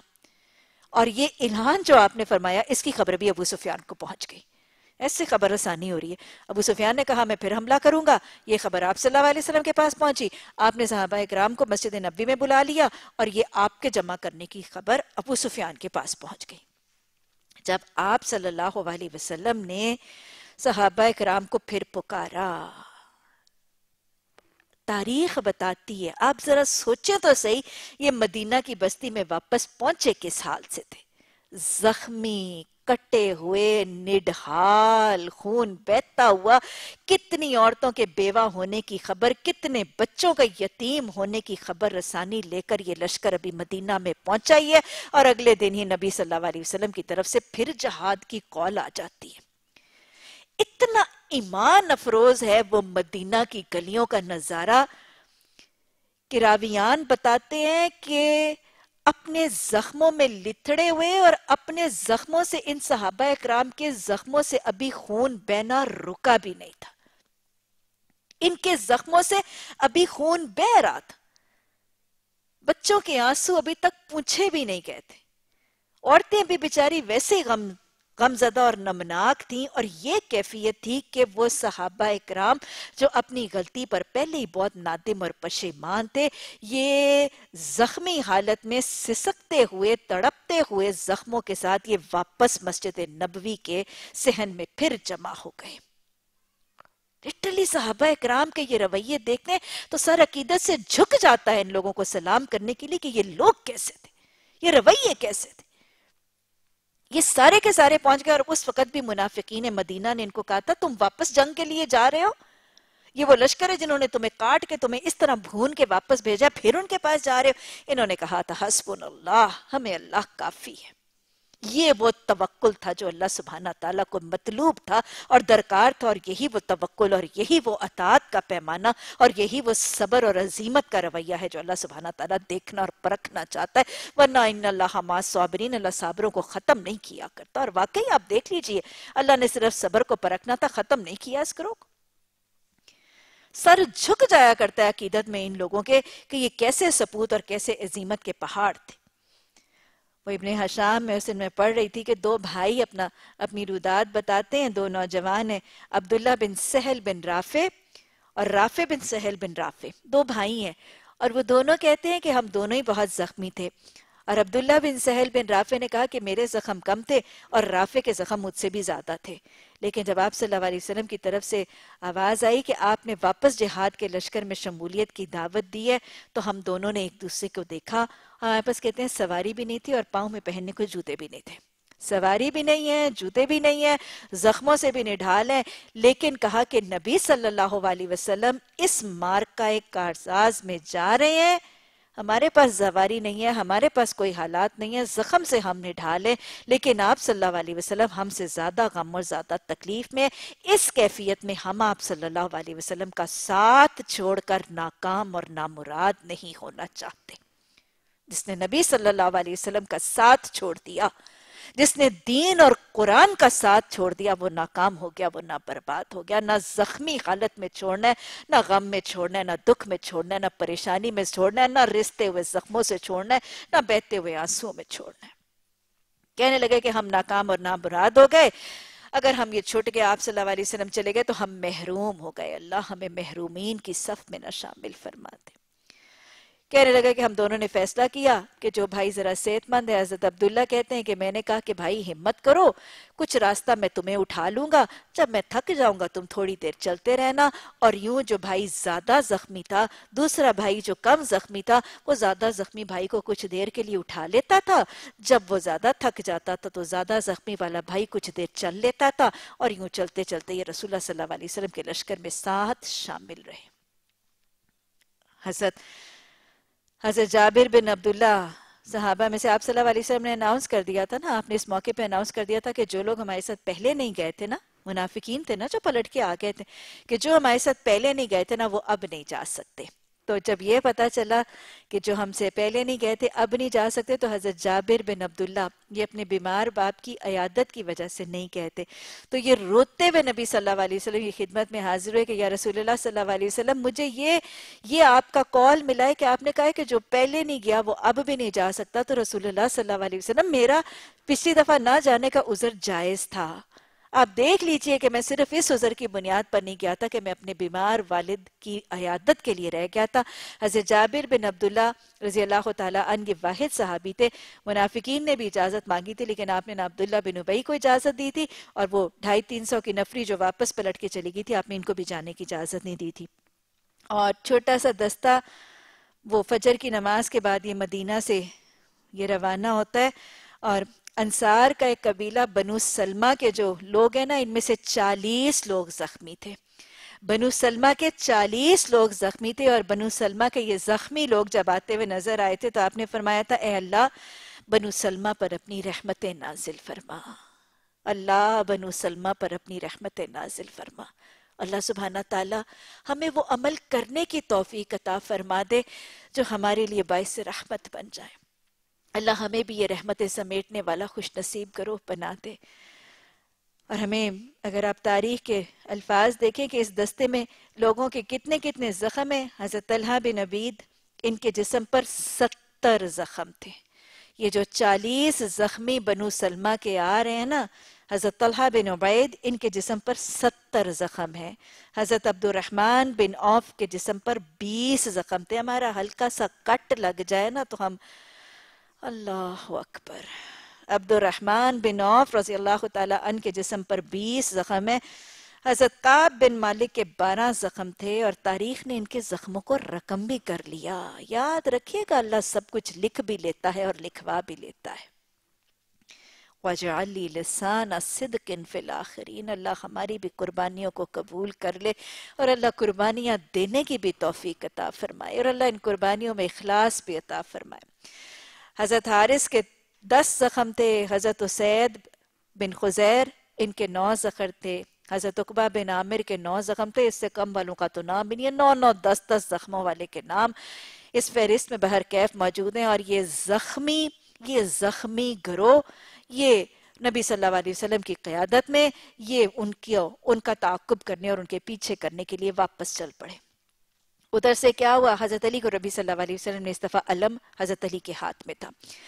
اور ادھر سے ہوا کیا؟ یاد رکھے گا، ان اللہ حماس صابرین کو صبر ہی کرنا ضروری تھا۔ میں آپ کو بہت دفعہ یہ بات بتاتی ہوں کہ جب کوئی گروہ نا اللہ اور اللہ کے رسول صلی اللہ علیہ وسلم کی اطاعت کر کے صبر سے جم جاتا ہے نا اللہ کے وعدے پر توکل کر کے، پھر اللہ سبحانہ تعالیٰ اس کا مددگار معاون بن جاتا ہے۔ غیب سے ایک معاملہ اللہ سبحانہ تعالیٰ کی طرف سے آسانی کا طریقہ ایسے ہوا کہ نبی صلی اللہ علیہ وسلم جب ہمراہ الاسد کے مقام پر پہنچے تو مشرقین کا قبیلہ بنو خزا بنو خزا کا سردار معبد بن ابی معبد۔ بنو خزا کا سردار معبد بن ابی معبد یہ بیسیکلی ابھی مشرق تھا۔ اور بنو خزاء کا قبیلہ بھی ابھی مشکین ہی کا تھا، لیکن یہ بنیادی طور پر مدینہ کے مسلمانوں کے حلیف تھے سپورٹرز تھے یہ نبی صلی اللہ علیہ وسلم کے۔ آپ صلی اللہ علیہ وسلم نے جب مراؤ الاسد کے مقام پر پڑاؤ کیا، تو بنو خزاء کا سردار یہ معبد جو ہے، وہ نبی صلی اللہ علیہ وسلم کی خدمت میں حاضر ہوا کیونکہ حلیف تھا نا۔ تو اس نے آ کے نبی صلی اللہ علیہ وسلم کے ساتھیوں کی شہادتوں پر تعزیت بھی کی، جو مسلمانوں کو نقصان ہوا تھا، اس پر اظہار غم بھی کیا۔ اور ساتھ ہی مسلمانوں کی حالت اور مسلمانوں کے رویوں کا جائزہ بھی لیا۔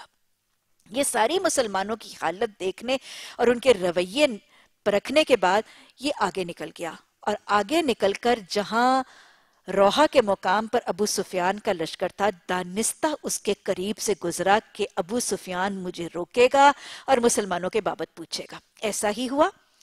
محبت بن ابی محبت جب ابو سفیان کے لشکر کے پاس سے گزرا ابو سفیان نے، کیونکہ یہ بھی مشرق، وہ بھی مشرق۔ ابو سفیان نے اس کو بلا کے پوچھا، کہاں سے آ رہے ہو؟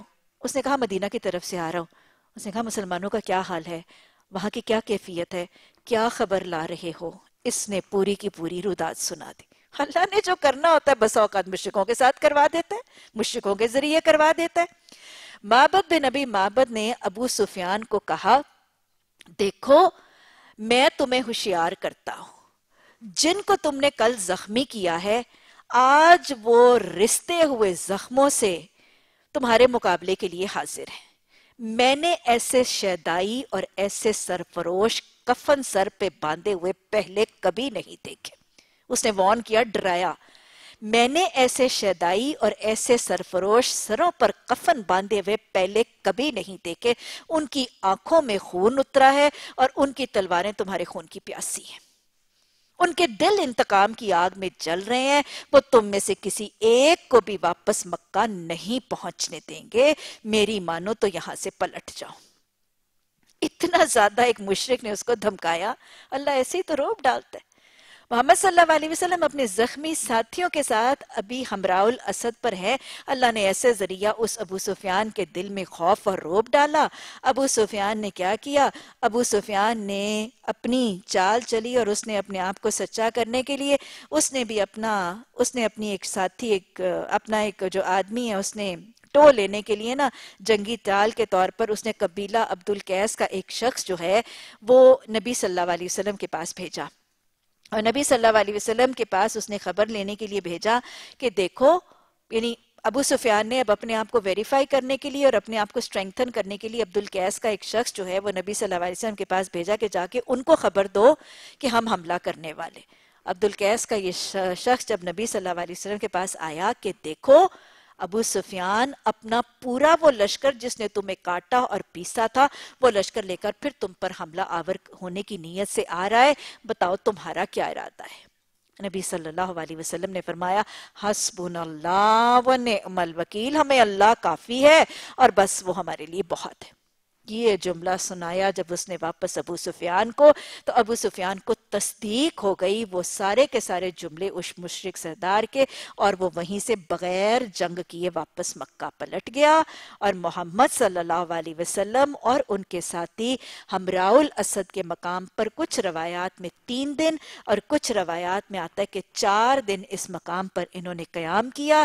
نہ جنگ کرنی پڑی، نہ خون بہانا پڑا، نہ تکلیف اٹھانی پڑی اور نہ ہی کوئی اور زخم اٹھانے پڑے۔ اللہ کی رضا بھی ملی، اللہ کی خوشنودی بھی ملی اور رب کی رضا سمیٹ کر واپس خیریت اور آفیت سے اپنے مدینہ کی بستی میں واپس پلٹے۔ اللہ سبحانہ تعالیٰ اطاعت کا ذوق و شوق عطا فرما۔ اللہ اطاعت کے دوران ثابت قدمی اور استقامت کے زیورات سے آراستہ فرما۔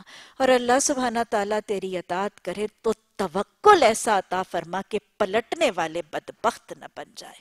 یا ارحم الراحمین، صبر، شکر، تقوی اور توکل کے زیورات سے ہم سب ہم سب کو آراستہ فرما دے۔ تو لہٰذا جی اس میں بنیادی طور پر یہ غزوہ ہمراہ الاسد پر جو ہے وہ تبصرہ موجود ہے۔ اب اس کو پھر پڑھیں، اب آپ کو سمجھ آئے گی۔ جن لوگوں نے زخم کھانے کے بعد بھی اللہ اور اللہ کے رسول کی پکار پر لبے گا کسی کو ساٹھ زخم ہے کسی کو بیس ہیں، کسی کو نو ہیں، کسی کو دس ہیں، سب زخمی ہیں ہاں۔ رسول صلی اللہ علیہ وسلم کی پکار پر لبیک کہا، ان میں سے جو شخص نیکوکار اور پرہیزگار تھے، کیونکہ متقین کو تو اللہ نے قبول کیا تھا، منافقین کا انکار کیا گیا تھا نا، ان کے لیے بہت بڑا اجر ہے۔ اور وہ جن سے لوگوں نے کہا تھا، تمہارے خلاف بہت بڑی فوجیں جمع ہوئی ہیں۔ اب پتہ چل رہا نا کس نے کہا تھا، تو ان سے ڈرو۔ تو یہ سن کر ان کا ایمان اور بڑھ گیا تھا اور انہوں نے جواب دیا تھا، قالو حسبن اللہ ونعم الوکیل، اللہ آج ہمیں بھی یہ نسخہ سمجھا دے۔ ہمیں کیا کہنا ہے؟ حسبن اللہ ہمیں اللہ کافی اللہ کا قرآن کافی اللہ کے قرآن کا نظام کافی ہے، اس کے قرآن کے قوانین کافی ہے وہ نعم الوکیل، وہ ہماری وکالت کو کافی ہے۔ جب انہوں نے یہ کہا تھا، یہ تو زخمی بھی تھے، ہم تو صحت مند ہیں۔ یہ تو اکیلے بھی تھے۔ ہم تو بہت اتنے ہیں۔ یہ نہتے بھی تھے۔ ہم تو نیوکلیر وارفیئر ٹیکنالوجی رکھنے والے ہیں۔ انہوں نے جب یہ کہا تھا تو کیا ہوا تھا؟ کٹے تھے؟ مرے تھے؟ ختم ہو گئے تھے؟ قیامت تک ان کی رودات ذکر خیر قائم رہا۔ نمونہ اللہ نے ان کو بنا دیا۔ فن قالبو بنعمت من اللہ وہ آخرکار اللہ کی نعمت اور فضل کے ساتھ پلٹے۔ اللہ اس نعمت اور فضل کا حریص بنا دے۔ اللہ ان باتوں پر توکل عطا فرما دے۔ وہ اللہ کی نعمت اور فضل کے ساتھ پلٹ آئے ان کو کسی قسم کا ضرر نہیں پہنچا اور اللہ کی رضا پر چلنے کا شرف بھی انہیں حاصل ہو گیا۔ اللہ بڑا فضل فرمانے والا ہے۔ اب تمہیں معلوم ہو گیا، وہ شیطان ہے جو اپنے دوستوں سے تمہیں خام مخواہ ڈراتا ہے اور پاکستانیوں کو تو پتہ نہیں کتنا ڈرا کے رکھا ہے شیطان۔ یہ شیطان ہے جو تمہیں اپنے دوستوں سے خام مخواہ ڈرا رہا ہے۔ سینکشنز لگ جائیں گی، فلان لگ جائے گا۔ آئندہ تم انسانوں سے نہ ڈرنا، مجھ سے ڈرنا اور حقیقت میں تم صاحب ایمان ہو۔ اے پیغمبر، صلی اللہ علیہ وسلم، جو لوگ آج کفر کی راہ میں بڑی دوڑ دوب کر رہے ہیں، ان کی سرگرمیاں تمہیں ازردہ نہ کریں۔ یہ یہ اللہ کا کچھ نہیں بگاڑ سکتے۔ اللہ کا ارادہ یہ کہ ان کے لیے آخرت میں کوئی حصہ نہ رکھے اور بالآخر ان کو سخت سزا ملنے والی ہے۔ جو لوگ ایمان کو چھوڑ کر کفر کے خریدار بنے وہ یقیناً اللہ کا کوئی نقصان نہیں کر رہے۔ ان کے لیے دردناک عذاب تیار ہے۔ یہ ڈھیل جو ہم انہیں دیے جا رہے ہیں، اس کو یہ کافر اپنے حق میں بہتری نہ سمجھیں۔ ہم تو انہیں اس لیے ڈھیل دے رہے ہیں کہ یہ خوب بارے گناہ سمیٹ لیں، پھر ان کے لیے سخت ذلیل کر دینے والی سزا ہے۔ اللہ اللہ مومنوں کو اس حالت میں نہیں رہنے دے گا، یہ وعدہ ہو رہا ہے اللہ کی طرف سے۔ جس میں تم اس وقت پائے جاتے ہو، وہ پاک لوگوں کو، ناپاک لوگوں سے الگ کر کے رہے گا۔ مگر اللہ کا یہ طریقہ نہیں ہے کہ تم کو غیب پر مطلع کر دے۔ غیب کی باتیں بتانے کے لیے تو وہ اپنے رسولوں میں سے جس کو چاہتا ہے منتخب کر لیتا ہے۔ لہٰذا امور غیب کے بارے میں اللہ اور اللہ کے رسول صلی اللہ علیہ وسلم پر ایمان رکھو۔ اگر تم ایمان اور خدا رستی، خدا ترسی کی روش پر چلو گے گے تو تم کو بہت بڑا اجر ملے گا۔ اور پھر ایک خدا ترسی کی روش، جن لوگوں کو اللہ نے اپنے فضل سے نوازا ہے یعنی فضل سے نوازا ہے، ان کو مال دیا ہے، دولت دیا ہے، کوئی خدا داد نعمتیں، کوئی ہیرے، کوئی جوارات سونا، چاندی، نقدی، جائیدادیں، کچھ دیا ہے، جس کو اللہ نے اپنے فضل سے نوازا ہے۔ اور پھر وہ کیا کرتے ہیں؟ وہ بخل سے کام لیتے ہیں۔ وہ اس خیال میں نہ رہے کہ یہ بھی ان کے حق میں اچھی ہے۔ بس اوقات کچھ لوگ بخیلی کر کے اس کو اچھا بھی تو سمجھتے ہیں نا۔ بڑی سیانی ہے، وہ جوڑ جوڑ کے رکھتی ہے، وہ کسی کو نہیں دیتی، وہ خرچ بھی نہیں کرتی۔ وہ یہ نہ سمجھیں کہ وہ بخیلی ان کے حق میں اچھی ہے۔ نہیں نہیں، یہ ان کے حق میں بہت بری ہے۔ جو کچھ بھی وہ اپنی کنجوسی اور بخل سے جمع کر رہے ہیں، وہی قیامت کے روز ان کے گلے کا توق بن جائے گا۔ جمع کس کے لیے کر رہے ہو؟ زمین اور آسمان کی میراث تو اللہ کے لیے۔ اور جو کچھ تم کرتے ہو، اللہ اس سے باخبر ہے۔ یہاں پر اللہ سبحانہ تعالیٰ نے بخل کی تردید کی ہے۔ بخل کی تردید کی ہے۔ اصل میں ہمارا دین دین اعتدال ہے۔ ہمیں امتوں وسطن متدل بیلنسڈ امت بنایا گیا۔ کسی چیز میں ایگزیجریشن کسی چیز میں تشدد اوور ڈوئنگ کو پسند نہیں کیا گیا۔ اسراف کو پسند نہیں کیا گیا اخراجات میں۔ تبزیر کو شیطانوں کا بھائی بند۔ مبذرین کو شیطانوں کا بھائی بند کہا گیا اور تبزیر کے اوپر لا لگا دی گئی۔ Over spending to the last limit تبزیر ہے نا۔ اسراف کرنے والوں کو ان اللہ یحب المصرفین کہہ دیا گیا۔ تو جہاں اسراف اور تبزیر سے منع کیا گیا اوور سپینڈنگ اور ویسٹفل سپینڈنگ آف لائف کے سسٹم سے منع کیا گیا، وہاں کنجوسی اور بخل سے بھی منع کیا جا رہا ہے۔ ہمارا دین معتدل دین ہے۔ بیلنس طریقے۔ نہ ویسٹفلنس ہے، نہ مائزرلینس ہے۔ نہ کنجوسی ہے، نہ اسراف ہے۔ درمیانہ طریقہ جو ہے، خیر الامور اوسطیہ بہترین معاملہ جو ہے، وہ اوسط اور درمیانہ طریقہ ہوا کرتا ہے۔ اور یہ یاد رکھیے گا کہ مومن کبھی بخیل نہیں ہوتا۔ مومن کبھی بخیل نہیں ہوتا۔ ایک تو مومن جھوٹا نہیں ہوتا، دوسرا مومن بخیل نہیں ہوتا۔ بخل کسے کہتے ہیں؟ بخل خرچ کرنے کا وہ طریقہ ہے، بلکہ خرچ نہ کرنے کا وہ طریقہ ہے کہ جب ایک شخص جس پر اس کے لیے خرچ کرنا جائز ہے یعنی اللہ نے منع نہیں کیا اس خرچ پر، خرچ کرنا جائز ہے، حلال ہے، پسندیدہ ہے اور ضروری بھی ہے، اور اس کے باوجود بھی وہ خرچ نہیں کرتا۔ جائز ہے، حلال ہے، پسندیدہ ہے اور ضروری ہے، اور وہ اس پر بھی خرچ نہیں کرتا تو یہ ہے بخل۔ مثلاً یہ بخل ہے کہ اللہ سبحانہ تعالیٰ نے کسی کو مال دیا ہے اور وہ اول حلول حال میں رہتا ہے۔ آپ نے دیکھا تھا نا کسی شخص کے پاس برا سا حلیہ اور پراگندہ سا بال بکھرے ہوئے گندے لباس آپ نے کہا کہ کیا خیال ہے، یہ فقیر ہے؟ آپ نے کہا نہیں، لوگوں نے بتایا کہ نہیں، یہ مالدار ہے، یہ صاحب مال ہے۔ تو آپ نے فرمایا کہ اس کے حلیے سے بھی اس کی نعمت کا اظہار ہونا چاہیے۔ یہ بخل ہے۔ اسی طرح بیوی، بچوں، ازواج، والدین، گھر والوں پر خرچ کرنا، حدیث میں آتا ہے نا کہ تیرا ایک تیرا ایک درہم وہ ہے جو تو اپنے پہ خرچ کرتا ہے۔ تیرا ایک درم وہ ہے جو تو اپنے بیوی بچوں پر خرچ کرتا ہے، اور تیرا ایک درم وہ ہے جو تو اپنے غلام پر خرچ کرتا ہے، اور ایک وہ ہے جو تو صدقہ خیرات کرتا ہے۔ تیرا بہترین درہم وہ ہے جو تو اپنے آپ اور اپنے اہل خانہ پر خرچ کرتا ہے۔ تو یہ جائز ہے، یہ حلال ہے، یہ ضروری ہے۔ ہاں اس میں اسراف نہیں کرنا، اس میں ریا نہیں کرنا۔ اس میں حد سے نہیں بڑھ جانا۔ اس میں تقاصر کے شوق میں کہ بیوی بچوں کے اوپر ہی ڈیزائنرز آ رہے ہیں اور ٹو مچ ہو رہا ہے اور لیوش ہو رہا ہے اور اوور سپینڈنگ ہو رہی ہے۔ یہ نہیں ہے۔ لیکن بیوی بچوں، اہل و عیال، بیوی کا نان نفقہ، اولاد کی تعلیم، تربیت، بیماری، علاج، یہ سب نان نفقے جائز ہیں، حلال ہیں، ضروری ہیں، فرائض زندگی ہیں۔ اگر کوئی ان پر خرچ نہیں کرے گا تو یہ بھی بخل ہے۔ کھانا پینا، اونا پہنا، ضروریات، زندگی necessities of life commodities of life میسر کرنا، فراہم کرنا، یہ ذمہ داری ہے اس قوام کی۔ وہ قوام بنایا ہی بما انفقو، خرچ کی بنیاد پر گیا، اور اگر وہ یہ خرچ نہیں کرتا تو یہ بخل ہے۔ اور پھر اپنے اور اپنے بندوں کے حق کے بعد اللہ کا حق اگر بندہ نہیں دیتا تو یہ بھی بخل ہے۔ زکوٰۃ اور صدقات نہ دینا مال کے ہونے میں۔ مال ہے۔ اپنی ضرورت سے زائد ہے۔ یسالونا کا مازا ينفقون قل الاف یہ تو قرآن نے سکھا دیا، لیکن اس کے باوجود اتنا ہے، اتنا ڈھیر ضرورتوں سے زیادہ ہے۔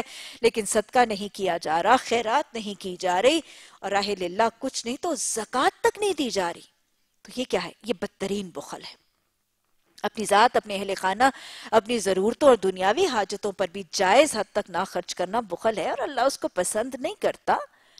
لیکن سب سے بدترین بخل جو ہے وہ اللہ کا حق نہ دینا، وہ بدترین بخل ہے۔ مال ہے لیکن صدقات نہیں دیے جا رہے۔ مال ہے لیکن فرض صدقات زکات نہیں دی جا رہی، یہ بدترین بخل ہے۔ تو لہٰذا بخل کی تردید اور نفی کی جا رہی ہے۔ اصل میں بخل بیسیکلی اس کے پیچھے الٹیمیٹ کون سا جذبہ ہوتا ہے؟ مال کی محبت۔ کوئی شخص بخل کرتا کیوں ہے؟ مال خرچ نہیں کرتا۔ مال کا حریص ہو جاتا ہے، مال کی حوث آ جاتی ہے اور مال کی محبت اتنے شدید ہو جاتی ہے کہ جائز، ضروری اور پسندیدہ چیزوں کے لیے بھی وہ مال نہیں نکلتا۔ جب مال کی اتنی محبت اور حرس اور حوث اور لالچ آتی ہے تو پھر وہ مال جائز، حلال، ضروری اور فرائض پر بھی جب ادا نہیں ہوتا تو پھر یہ بخیل ہے۔ یہ وہی ہے کہ اللہ نے فرمایا کہ اس کو اپنے حق میں بہتر نہ سمجھو، بخل کتنا برا ہے۔ حدیث تو رہے ہرس ایمان کا ایک بھوکا بھیڑیا بکریوں کے ریوڑ کا اتنا نقصان نہیں کرتا جتنا ہرس ایمان کا کرتا ہے۔ اس ہرس اور بخل کو اپنے حق میں بہتر نہ سمجھو، یہ تو تمہارے ایمان کا جنازہ نکال دے گا۔ بل ہو شر اللہ کیسے شر ہے؟ بھوکے بھیڑیے نے بکریوں کے ریوڑ کا اتنا نقصان نہیں کرنا جتنا اس ہرس اور بخل نے تمہارے ایمان کا کر دینا۔ اسی طرح یہ ہرس اور بخل اور حوث اور تمام لالچ کتنا برا ہے۔ آپ صلی اللہ علیہ وسلم نے حدیث مبارکہ میں فرمایا، روز صبح اور روز شام کو۔ روز صبح اور روز شام کو دو فرشتے آسمان سے اترتے ہیں۔ اور یہ اللہ سبحانہ تعالیٰ سے دعا کرتے ہیں۔ روز صبح اور روز شام کو دو فرشتے آسمان سے اترتے ہیں اور اللہ سبحانہ تعالیٰ سے دعا کرتے ہیں۔ الہی، روک رکھنے والوں کا مال برباد کر دے اور خرچ کرنے والوں کے مال میں برکت عطا فرما دے۔ یہ ہے شر اللہ یہ ہے تمہارے لیے بخل کا شر کہ اگر خرچ نہیں کرو گے تو وہ وہ فرشتے تمہارے مال کی ہلاکت اور بربادی کی دعائیں کریں گے۔ اور خرچ کرو گے تو تمہارے مال کی برکت اور بڑھوتی کی دعائیں کریں گے۔ کتنا برا ہے۔ یہ مال کو اللہ کی راہ میں نہ خرچ کرنا زکاة اور صدقات کی حد تک نہ خرچ کرنا، وہ خزانہ، وہ مال کیا بن جاتا ہے؟ کنز بن جاتا ہے۔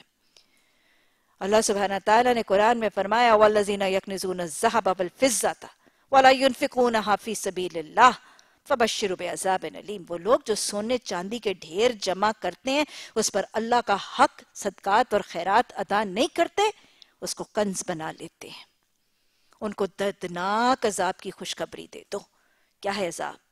یوم یحم علیہ فی النار۔ یہ سونا چاندی جو ڈھیر بنا لیا کنز بنا لیا، اللہ کا حق نہیں دیا اور یہ سونا چاندی جمع کر لیا، یہ قیامت کے دن آگ پر تپا جائے گا۔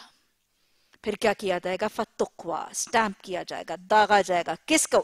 ان کی پیشانیوں کو، ان کے پہلوؤں کو اور ان کی پیٹھوں کو۔ اور پھر کیا کہا جائے گا؟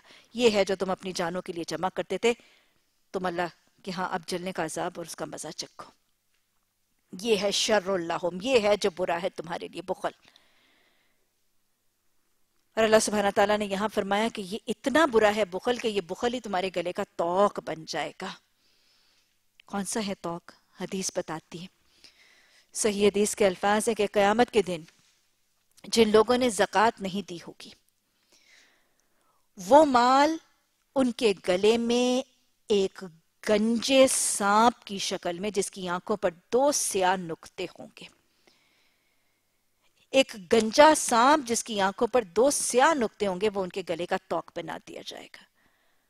وہ ان کا منہ پکڑے گا، ان کی باتیں چیرے گا اور وہ کہے گا ہاں انا مالو کا انا کنزو کا میں تمہارا مال ہوں اور میں تمہارا وہ خزانہ ہوں جس کو کنز بنا کے اللہ کا مال کا حق نہ ادا کر کے تم نے اپنے پاس رکھا۔ سمجھ آیا؟ شر اللہ کیا ہے؟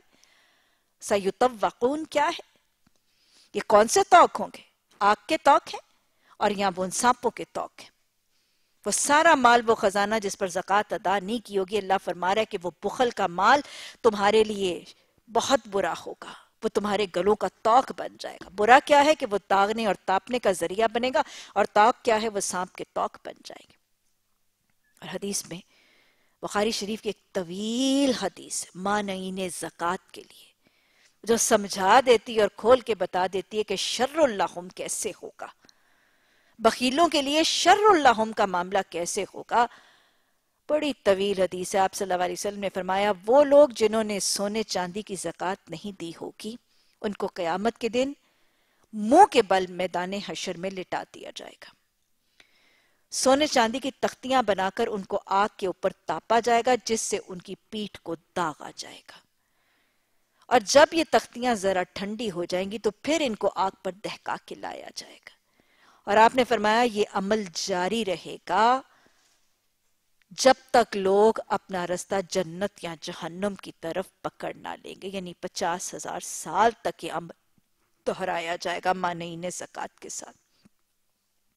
پھر آپ نے فرمایا جس شخص نے بکریوں کی زکاة آپ کو پتہ بکریوں پر بھی زکاة ہے، سونے چاندی کی نہیں دی تو تختیاں داغی جائیں گی۔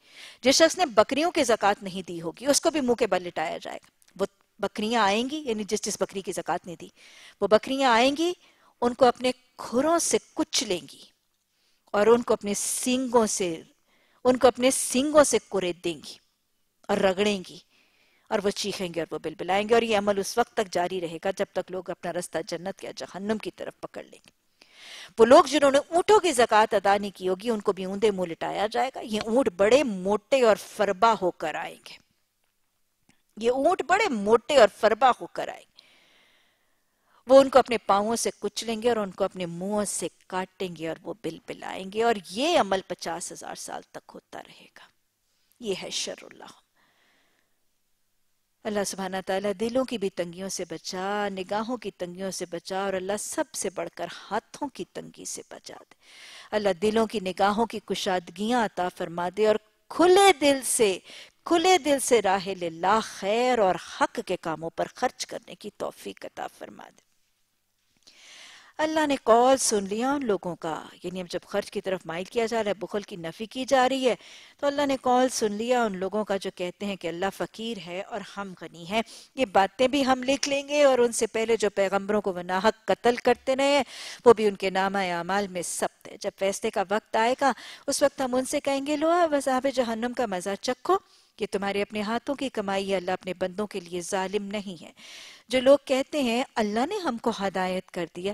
یہ اہل کتاب کہتے تھے کہ ہم، ہمیں اللہ نے کہا ہے کہ جو نبی ایسی قربانی لے کے آئے جس کو آگ کھائیں گی، ہم صرف اسی کو مانیں گے۔ تو اس کا جواب دیا جا رہا ہے۔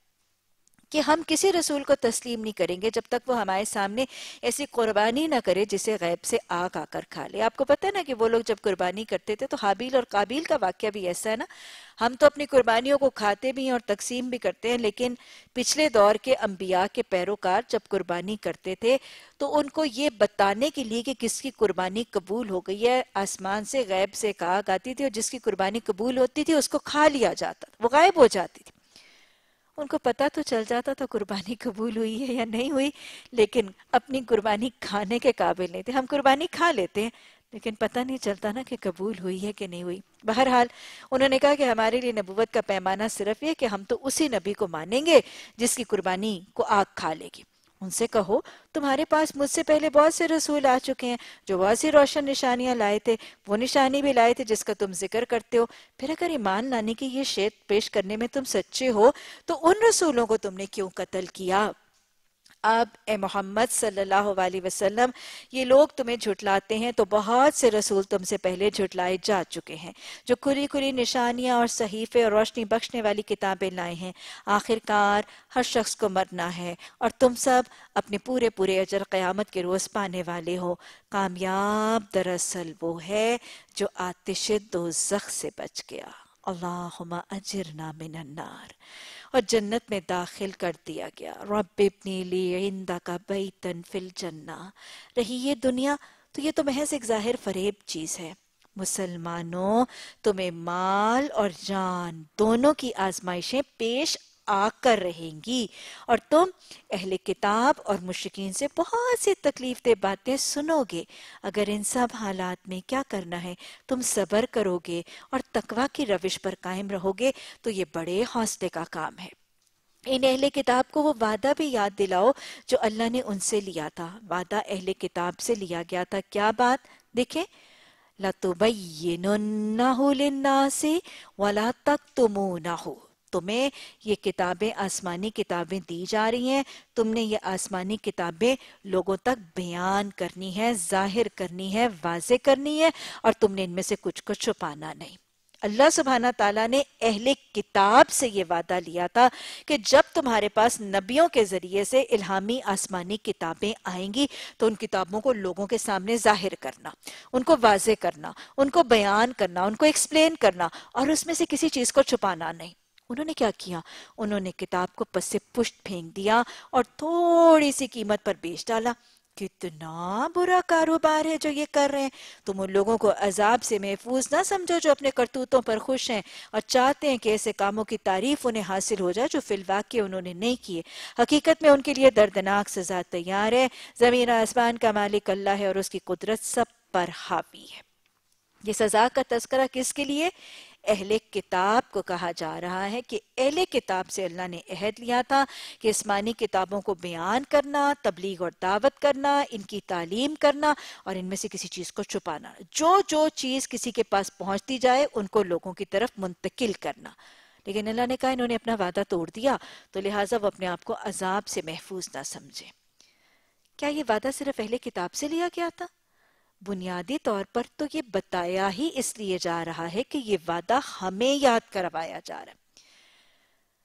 دیکھ لیجیے کہ اگر وہ اہل کتاب، جن کی حفاظت، جن کتابوں کی حفاظت کا ذمہ بھی اللہ نے نہیں لیا، اور وہ کتابیں جو محفوظ بھی نہیں رہیں، اور وہ کتابیں جو تحریف کا شکار بھی ہو گئی ان کو نہ بیان کرنے والوں کو اللہ کہہ رہا ہے کہ ان کو عذاب الہی سے محفوظ نہ سمجھو۔ ہم جن کی کتاب کیا ہے؟ الفرقان القرآن الحکیم قرآن مبین، بہترین کتاب الکتاب نحن نزلنا الذکرہ تنزیل من رب العالمین۔ وہ جس کی حفاظت کا ذمہ اللہ نے زیر زبر کی حفاظت کا ذمہ لیا تھا، اگر اس کتاب کو ہم حاملان امت نے نہ لوگوں تک پہنچایا اور اس میں سے کچھ چھپانے کا ارتکاب کیا، تو کیا یہ عذاب کی دھمکی میرے اور آپ کے لیے کافی نہیں ہے؟ اللہ سبحانہ تعالیٰ ہمیں یہ سمجھنے اور اللہ لوگوں تک یہ بات پہنچانے کی توفیق عطا فرمائے۔ ان فی خلق السماوات والارض واختلاف اللیل والنہار بے شک بیش تخلیق میں آسمانوں کی اور زمین کی اور اختلاف میں رات اور دن کے۔ لآیات لِعُولِ الْأَلْبَابِ، البتہ نشانیاں ہیں واسطے کن کے عقل مندوں کے۔ سورہ آل عمران کی آخری دس آیات ان کی فضیلت اس حوالے سے کہ یہ وہ آیات ہیں جو نبی صلی اللہ علیہ وسلم، جب آپ صلی اللہ علیہ وسلم تحجد کے موقع پر بیدار ہوتے تھے تو اس وقت پڑھنا سنت رسول صلی اللہ علیہ وسلم سے ثابت ہے۔ آپ صلی اللہ علیہ وسلم تحجد کے وقت بیدار ہوتے تھے، جاگنے کی دعا، جاگنے کی دعا کے بعد تیسرا کلمہ، چوتھا کلمہ اور پھر باقاعدگی سے سورہ عمران کی آخری دس آیات۔ تو لہٰذا یہ وہ آیات ہیں جو بہت ہی اہمیت کی حامل ہیں۔ اللہ کی تسبیح حمد و ثنا کے بعد قرآن جو پہلا آپ تلاوت فرماتے تھے، وہ انہی آیات میں سے، الزہراوین کی آخری دس آیات ہیں۔ نبی صلی اللہ علیہ وسلم سوتے وقت سورہ بکرہ کی آخری دو آیات کی تلاوت کی تاکید فرماتے ہیں اور سنت سے جاری فرماتے ہیں یہ نمونہ۔ اور صبح اٹھتے، یہ الزہراوین کی فضیلت ہے نا۔ رات کو سوتے وقت سورہ بکرہ کی آخری دو آیات اور صبح اٹھ کر سورہ عمران کی آخری دس آیات کی تلاوت کرنا نبی صلی اللہ علیہ وسلم کا طریقہ اور اسے ایک اور بات پتا چلتی ہے جو بھی آگے جا کے ہمیں آیت کی تفسیر میں بھی پتا چلے گی کہ آپ صلی اللہ علیہ وسلم جاگتے سار بغیر وضو کیے ابھی یہ تلاوت فرماتے تھے تو ذکر کے بغیر بغیر بغیر وضو کے، بلا وضو حالت میں ذکر، تسبیح تلاوت زبانی ہاں ناظرہ نہیں، زبانی کی جا سکتی ہے۔ تو اللہ سبحانہ تعالیٰ نے ان آیات میں بہت خوبصورت سا پیغام دیا اللہ سمجھنے کی اور ان کو یاد کرنے اور ان کو اپنے تحجد کے اوقات میں زبان پر جاری کرنے کی توفیق عطا فرمائے اور اللہ ایک سنت کا بہترین عمل اپنا کر اللہ کی محبت کا حقدار بھی بنا دے۔ زمین اور آسمان کی پیدائش میں اور رات کے باری باری آنے میں عقل مندوں کے لیے ایک بڑی نشانی ہے۔ گویا سورہ بکرہ میں بھی ہم نے عقل مندوں کی صفات پڑھی تھی، ہے نا؟ عقل مند کون سے تھے؟ اولی الالباب، جو کیا کہتے تھے؟ دو قسم کی آیات تھی نا، ہم نے شروع میں پڑھا تھا۔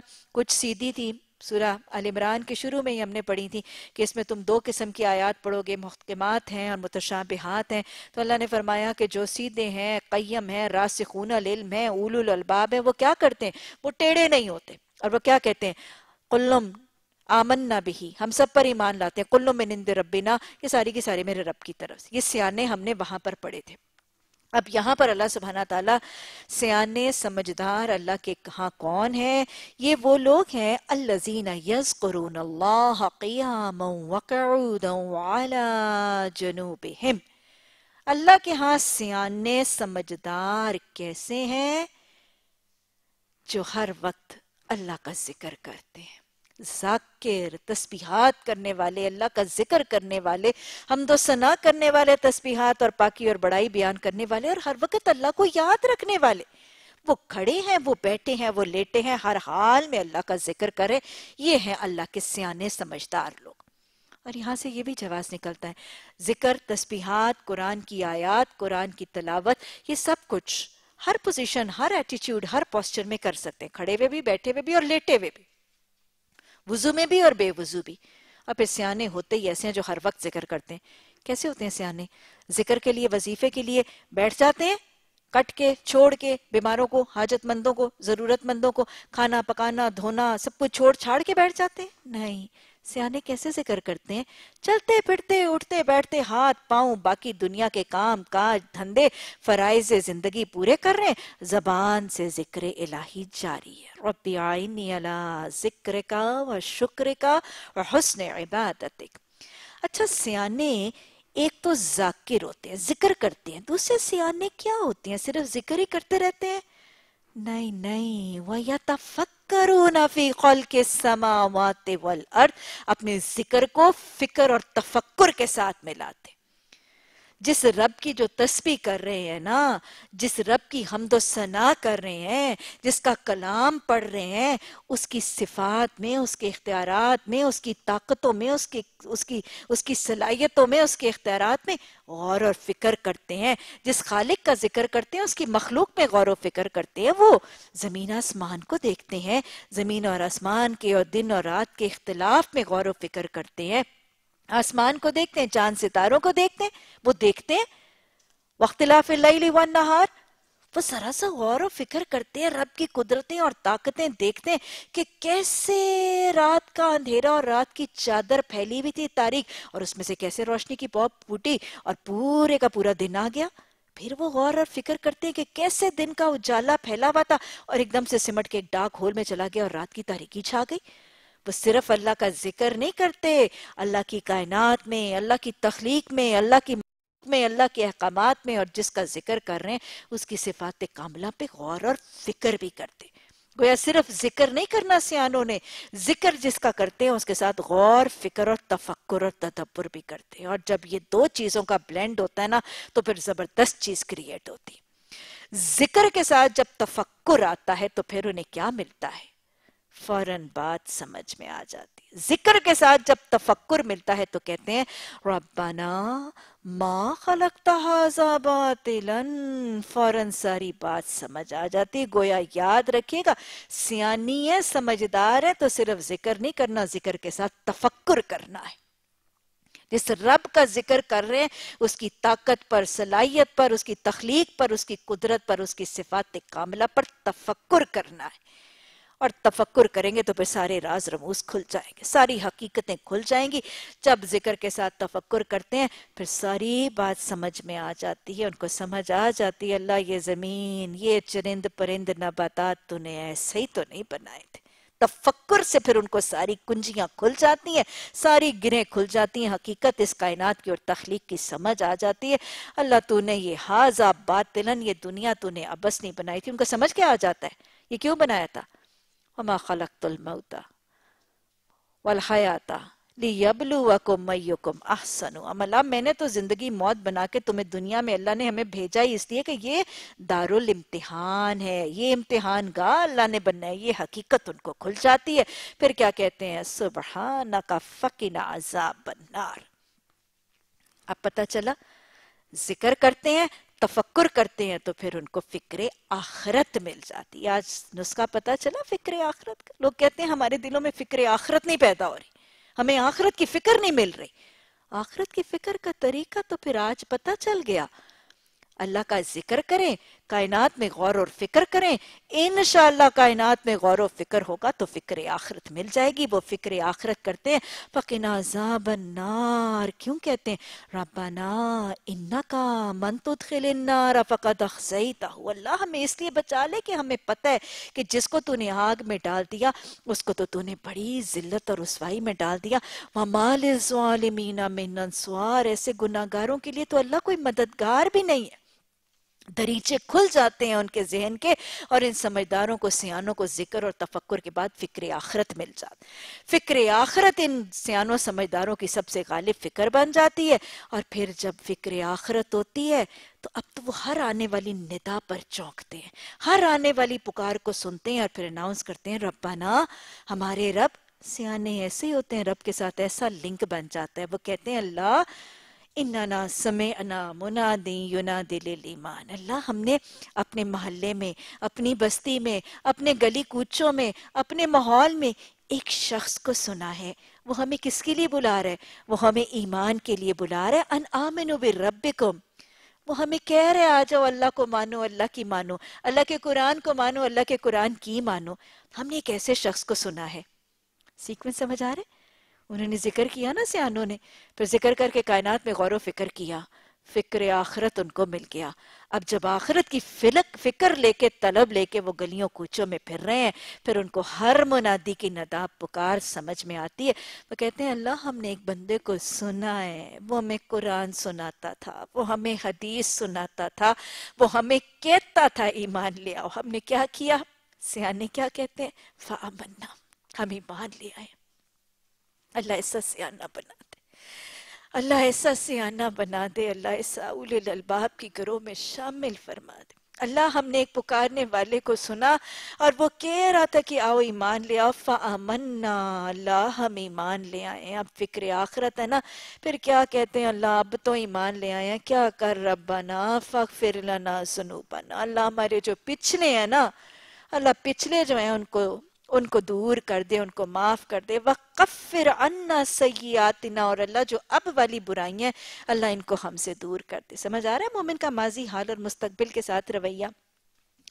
وَتَوَفَّنَا مَا الْأَبْرَارِ۔ اپنے ماضی میں اللہ بخش دے، اب کی برائیاں دور کر دے۔ مستقبل میں ہمیں ابرار اور نیکوکاروں کے ساتھ فوت کر دے۔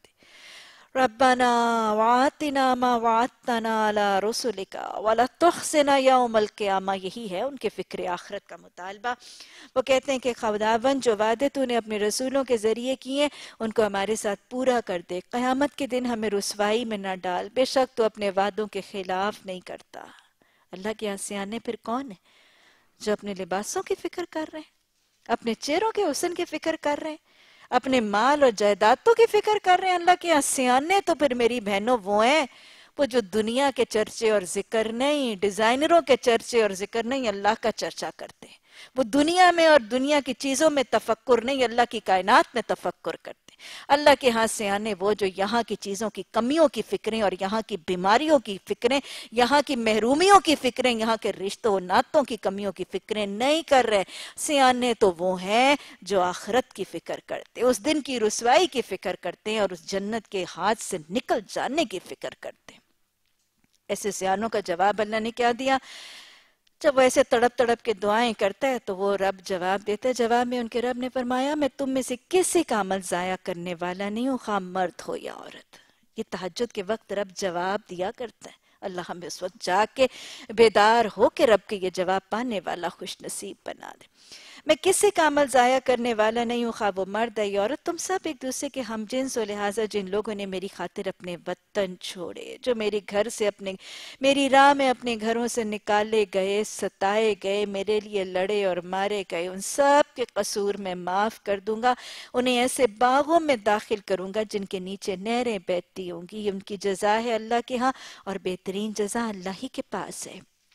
نبی صلی اللہ علیہ وسلم، دنیا کے ملکوں میں خدا کے نافرمان لوگوں کی چلت پھرت، تمہیں کسی دھوکے میں نہ ڈال دے۔ یہ یہ تو محض چند روز کی زندگی کا تھوڑا سا لطف ہے۔ یہ پھر جب جہنم میں جائیں گے۔ جو بدترین جائے قرار ہے۔ برعکس اس کے جو لوگ اپنے رب سے ڈرتے ہوئے زندگی بسر کرتے ہیں، ان کے لیے ایسے باغ ہیں جن کے لیے نیچے نہریں بہتی ہیں۔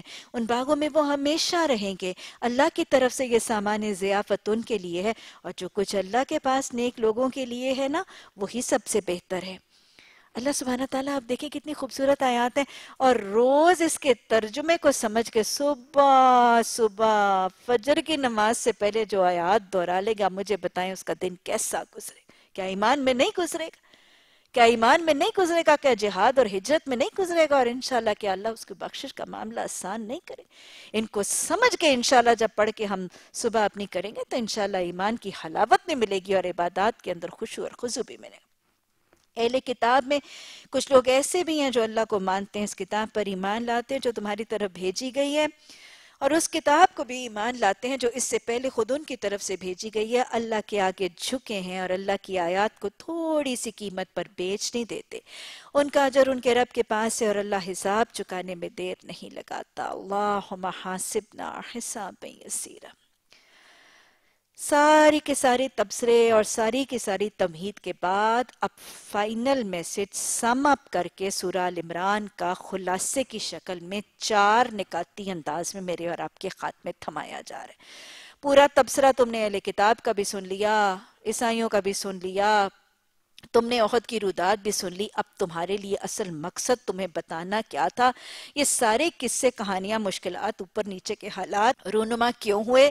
آگے ان سے بچنا چاہتے ہو تو یہ کام کر لینا۔ یا یو الذین آمنو اسپرو سب سے پہلا کام یہ کرنا کہ صبر کرنا۔ وَصَابِرُوا وَرَابِتُوا وَاتَّقُوا اللَّهَ لَعَلَّكُمْ تُفْلِحُونَ۔ یہ دیکھا تم نے فلا کا معاملہ گڑبڑ ہوا تھا، مشکل پریشانی آئی تھی۔ فلا چاہتے ہو تو چار کام کرنا۔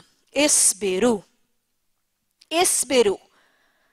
اللہ کی اطاعت کرنا۔ اور اللہ کی اطاعت میں تمہیں جو تکلیف، جو مشکل، جو پریشانی، جو دکھ، جو غم آئے، جو نقصان آئے، اس کو بغیر کسی ٹینشن، ڈپریشن انگزائٹی کے برداشت کرنا۔ انگزائٹی ڈپریشن سرسیمزگی میں استراب میں مبتلا نہ ہونا اور پریشانیوں اور دکھوں کے پیش نظر اللہ کی اطاعت کو چھوڑ کے واپس نافرمانی کے رستے پہ نہ جمنا، صبر اور استطامت کے ساتھ اللہ کی اطاعت میں جمے، ڈٹے رہنا بغیر کسی پریشانی اور بغیر کسی ٹینشن کے، یہ ہے صبر۔ یہی ہوتا نا صبر۔ دنیاوی معاملات میں نہیں، دین کے معاملات میں تو صبر یہی ہے۔ اللہ کی اطاعت کریں گے، تکلیفیں آئیں گی۔ یہ تکلیفوں کے آنے پہ نہ پریشان ہونا ہے، نہ غم کرنا ہے۔ اور نہ تکلیفوں کے آنے پہ اطاعت کو چھوڑ کر نہ فرمانی کی طرف چلنا ہے۔ اطاعت میں جمے رہنا، پریشان، گھبراہٹ کا شکار نہ ہونا، اس تقامت سے اللہ کی اطاعت کے راستے پر ثابت قدمی سے چلتے جانا، یہ صبر ہے۔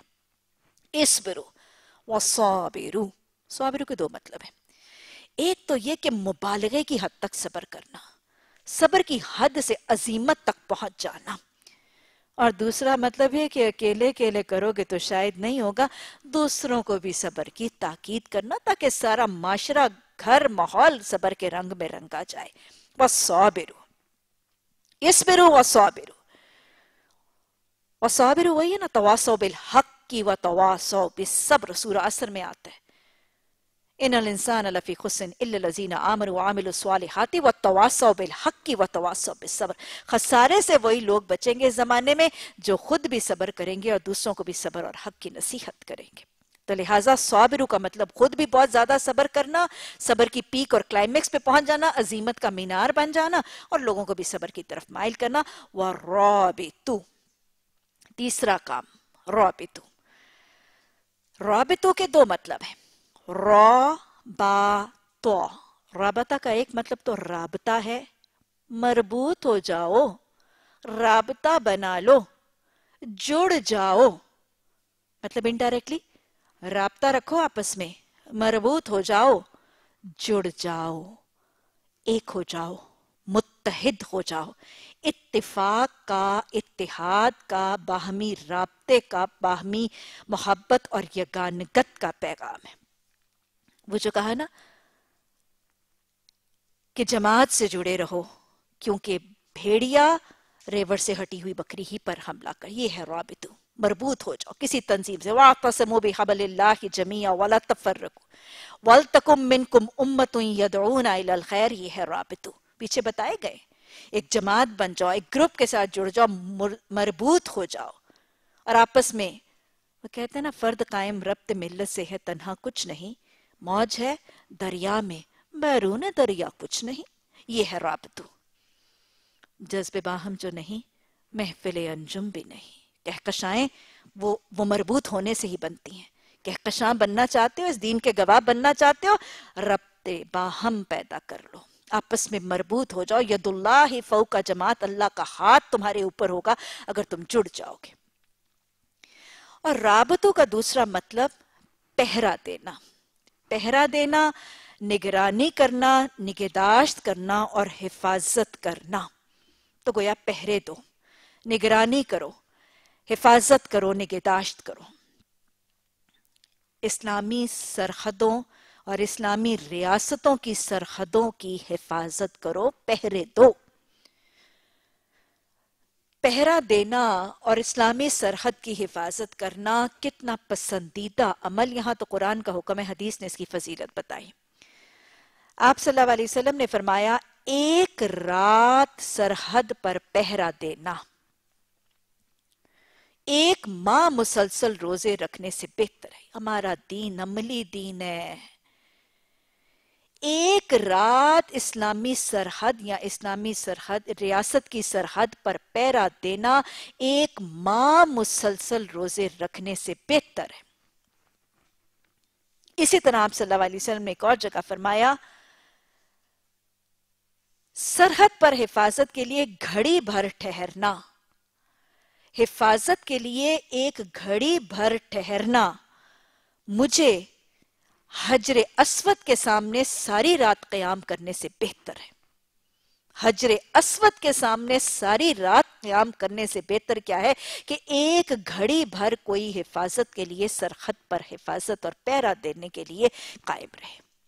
تو رابطوں کا مطلب یہ کہ اپنی سرحدوں کی حفاظت کرو، محافظت کرو، نگرانی کرو۔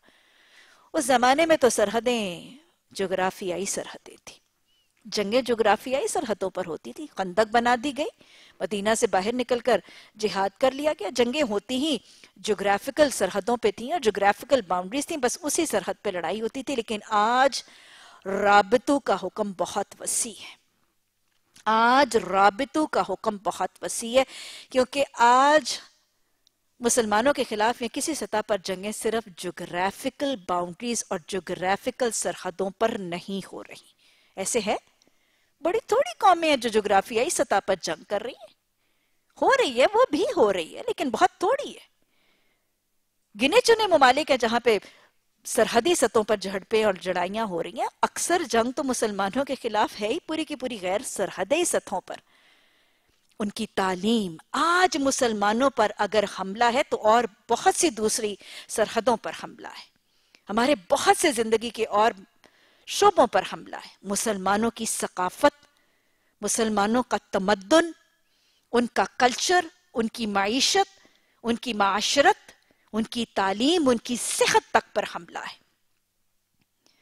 تو آج جب ہمیں رابطوں کا حکم سورہ عمران میں ملتا ہے، تو آج ہمیں اپنی ہر اسلامی سرحد اور اپنی اسلامی ریاست کی ہر سرحد کی حفاظت کرنی ہے۔ ہمیں اپنی تعلیم کی حفاظت کرنی ہے۔ ہمیں اپنے صحت کے، ہیلتھ کے ڈپارٹمنٹس کی حفاظت کرنی ہے۔ ہمیں اپنی اکانومی کی حفاظت کرنی ہے۔ ہمیں اپنی ثقافت اور اپنی تمدن کی حفاظت کرنی ہے۔ کچھ انٹلیکچلز کو، کچھ ایجوکیشنلسٹ کو، کچھ رائٹرز کو، کچھ پوئٹس کو، کچھ اکانومسٹ کو، کچھ ماہر معاشیات کو ہر شعبے میں اپنی اپنی حفاظتیں کرنی ہے۔ آج ہم نے یہ سرحدیں جو اپنی کھول دی ہیں اور آج ہماری معیشت کتنی غیر محفوظ ہے۔ اور آج ہماری معاشرت اور ہمارا ثقافت اور تمدن کتنا غیر محفوظ ہے۔ ان کا انٹرنیٹ، ان کا میڈیا، ان کا لٹریچر، ان کا کیبل، وہ سب کچھ یہ یلغار ہے۔ یہی تو حملے ہیں جو ہم پر ہو رہے ہیں۔ یہ بمبارٹمنٹس ہیں اس کلچر کی جو ہم پر ہو رہی ہیں۔ آج سے میرا خیال ہے، میرے اسکول کا وہ دور ہے، وہ سیونٹیز کا دور جب انڈیا نے یہ حملہ کیا تھا پاکستان پر، وہ سیونٹی فائیو کی، ون کی وارڈ تو چھوڑ دیجیے، اس کے بعد پھر یہ امرت سر ٹی وی کا بوسٹر لگا تھا۔ یہ وہ ایک سرحد تھی جس کی حفاظت کرنی ہمیں ضروری تھی۔ ہم نے اپنی اس ثقافت کی سرحد کی حفاظت نہیں کی تھی اور وہ امرتسر کا بوسٹر ٹی وی آج ہمارے ایک ایک گلی کوچے میں وہ انڈین ثقافت کا حملہ اور اس کے اثرات نظر آتے۔ یہ جب انہوں نے وہ سارا کچھ شروع کیا تھا تو اس کی کوئی تھوڑی دیر بعد آپ نے وہ سونیا گاندھی کا جملہ سنا میں نا کہ سونیا گاندھی نے کہا تھا کہ اب ہمیں پاکستان پر اب ہمیں پاکستان کی سرحدوں پر حملہ کرنے کی ضرورت نہیں ہے، ہم ان سے ثقافتی جنگ جیت چکے ہیں۔ ہم ان سے ثقافتی جنگ جیت اور جیت چکے ہیں وہ۔ ہمارا کھانا، پینا، بود و باشت۔ اور میں کئی دفعہ بہت زیادہ غم سے یہ بات کہتی ہوں کہ آج تو ہماری شادیاں، بیاہ، ہماری بری جہیز مکمل نہیں ہوتے انڈیا کی چیزوں کے بغیر۔ یہ ان کی ثقافتی جنگ ہے جو وہ جیت چکے ہیں۔ ہماری شادیوں میں، ہماری خوشیوں میں، ہمارے ہر چیز ناچ گانے میں ان کی ثقافت کا رنگ نظر آتا ہے اور یہ وہ سرحدیں ہیں جن کی حفاظت ہم نے نہیں کی۔ آج رابطوں میں ہمیں اپنی ثقافت، اپنی معیشت، اپنے تمدن، اپنے اہل علم کی حفاظت کے ساتھ اپنی تمام سرحدوں کی حفاظت کرنی ہے۔ وَاتَّقُ اللَّهِ، تقوی کسی کا نہ کرو۔ فلا تخشوہم وخشونی کوئی نیٹو ہے، کوئی آئی ایم ایف ہے، کسی کا تقوی نہ کرو، اللہ کا تقوی کرو۔ لا اللہ کم تفلیحون فلا چاہتے ہو؟ فلا سے محروم ہو؟ بحران ہے، انتشار ہے، مقروض ہو؟ غمناک ہو؟ آنکھیں تر ہیں، غمزدہ ہو خوف زدہ ہو؟ دکھوں میں مبتلا ہو، کٹ رہے ہو، پس رہے ہو، مارے جا رہے ہو، ختم کیے جا رہے ہو۔ فلا چاہتے ہو تو ایک ہی طریقہ ہے، یہ چار نکاتی نسخہ پکڑ لو۔ اللہ کی شریعت کو تھام کے صبر سے جم جاؤ۔ اگر تمہیں شریعت کے نفاذ میں جتنی دھمکیاں آئیں، جتنے تم پر روب جمائے جائیں، اس شریعت کو پکڑ کے جم جاؤ۔ خود بھی جمو، لوگوں کو بھی اس پہ جماؤ صابر اور پھر جمنے کے بعد رابطو حفاظت کرو پھر اپنی ریاست کی۔ یہ تو ہوا تھا مدینہ کی ریاست میں۔ ایسے نہیں ہوا تھا۔ فلا ملی تھی نا مدینہ کی ریاست کو۔ صبر سے مکہ کی بستی چھوڑ کے مدینہ میں آئے تھے۔ انہوں نے صبر کیا تھا۔ کتنے خوف آتے تھے محمد صلی اللہ علیہ وسلم اس قرآن کو چھوڑ دو مدینہ کو چھوڑ دیں گے۔ نہیں، قرآن کو نافذ کیا تھا مدینہ کی بستی میں۔ قرآن کا آئین، قرآن کا دستور، قرآن کا نظام بنایا تھا۔ انہوں نے صبر بھی کیا، کٹے بھی، مرے بھی، پسے بھی، شہید بھی ہوئے، خون بھی بہایا، بیوہ بھی ہوئے، یتیم بھی ہوئے، بھوکے بھی تھے، افلاس بھی تھا پیٹ کی تکلیفیں بھی کاٹی، سب کچھ آیا۔ صبر کرتے بھی تھے، صبر کی تاکید بھی کرتے تھے، اپنی سرحدوں کی حفاظت بھی کرتے تھے۔ اللہ کا تقوی دل میں رکھتے تھے فلا پا گئی وہ مدینہ کی بستی۔ اللہ ہمیں یہ فلا کے چار نسخے سیکھنے کی توفیق عطا فرما دے اللہ سبحانہ تعالیٰ مل بیٹھ کر ہم نے سورہ الامران الزہراوین کی یہ دونوں صورتوں کو مکمل کیا۔ اللہ آنا، بیٹھنا، پڑھنا، پڑھانا قبول فرما لے۔ یا ارحم الراحمین، ان دونوں صورتوں الزہراوین کی تکمیل کے یہ مرلے میں اللہ ہم سے کوئی کمیاں کتاہیاں ہوئیں تو درگزر فرما دیں اللہ غیر ارادی طور پر کچھ غلط معاملات زبان سے نکلے تو اللہ اپنے رحم سے درگزر فرما دے۔ اللہ ان کا فہم عطا فرما، اللہ ان کا علم عطا فرما۔ اللہ ان کی برکتوں سے ہمیں، ہماری ضروریت کو، ہمارے گھرانوں کو اس بستی کو اللہ شیطان کی اکساہٹوں سے عافیت عطا فرما۔ اللہ سبحانہ تعالیٰ نسخے جو سیکھے ہیں، دوسروں کو سکھانے اور خود عمل کرنے کی توفیق عطا فرما۔ ربنا لا تزغ قلوبنا بعد إذ هديتنا وهب لنا من لدنك رحمة إنك أنت الوهاب سبحانك اللهم وبحمدك نشهد أن لا إله إلا أنت نستغفرك ونتوب إليك سبحان ربك رب العزة عما يصفون وسلام على المرسلين والحمد لله رب العالمين آمين ثم آمين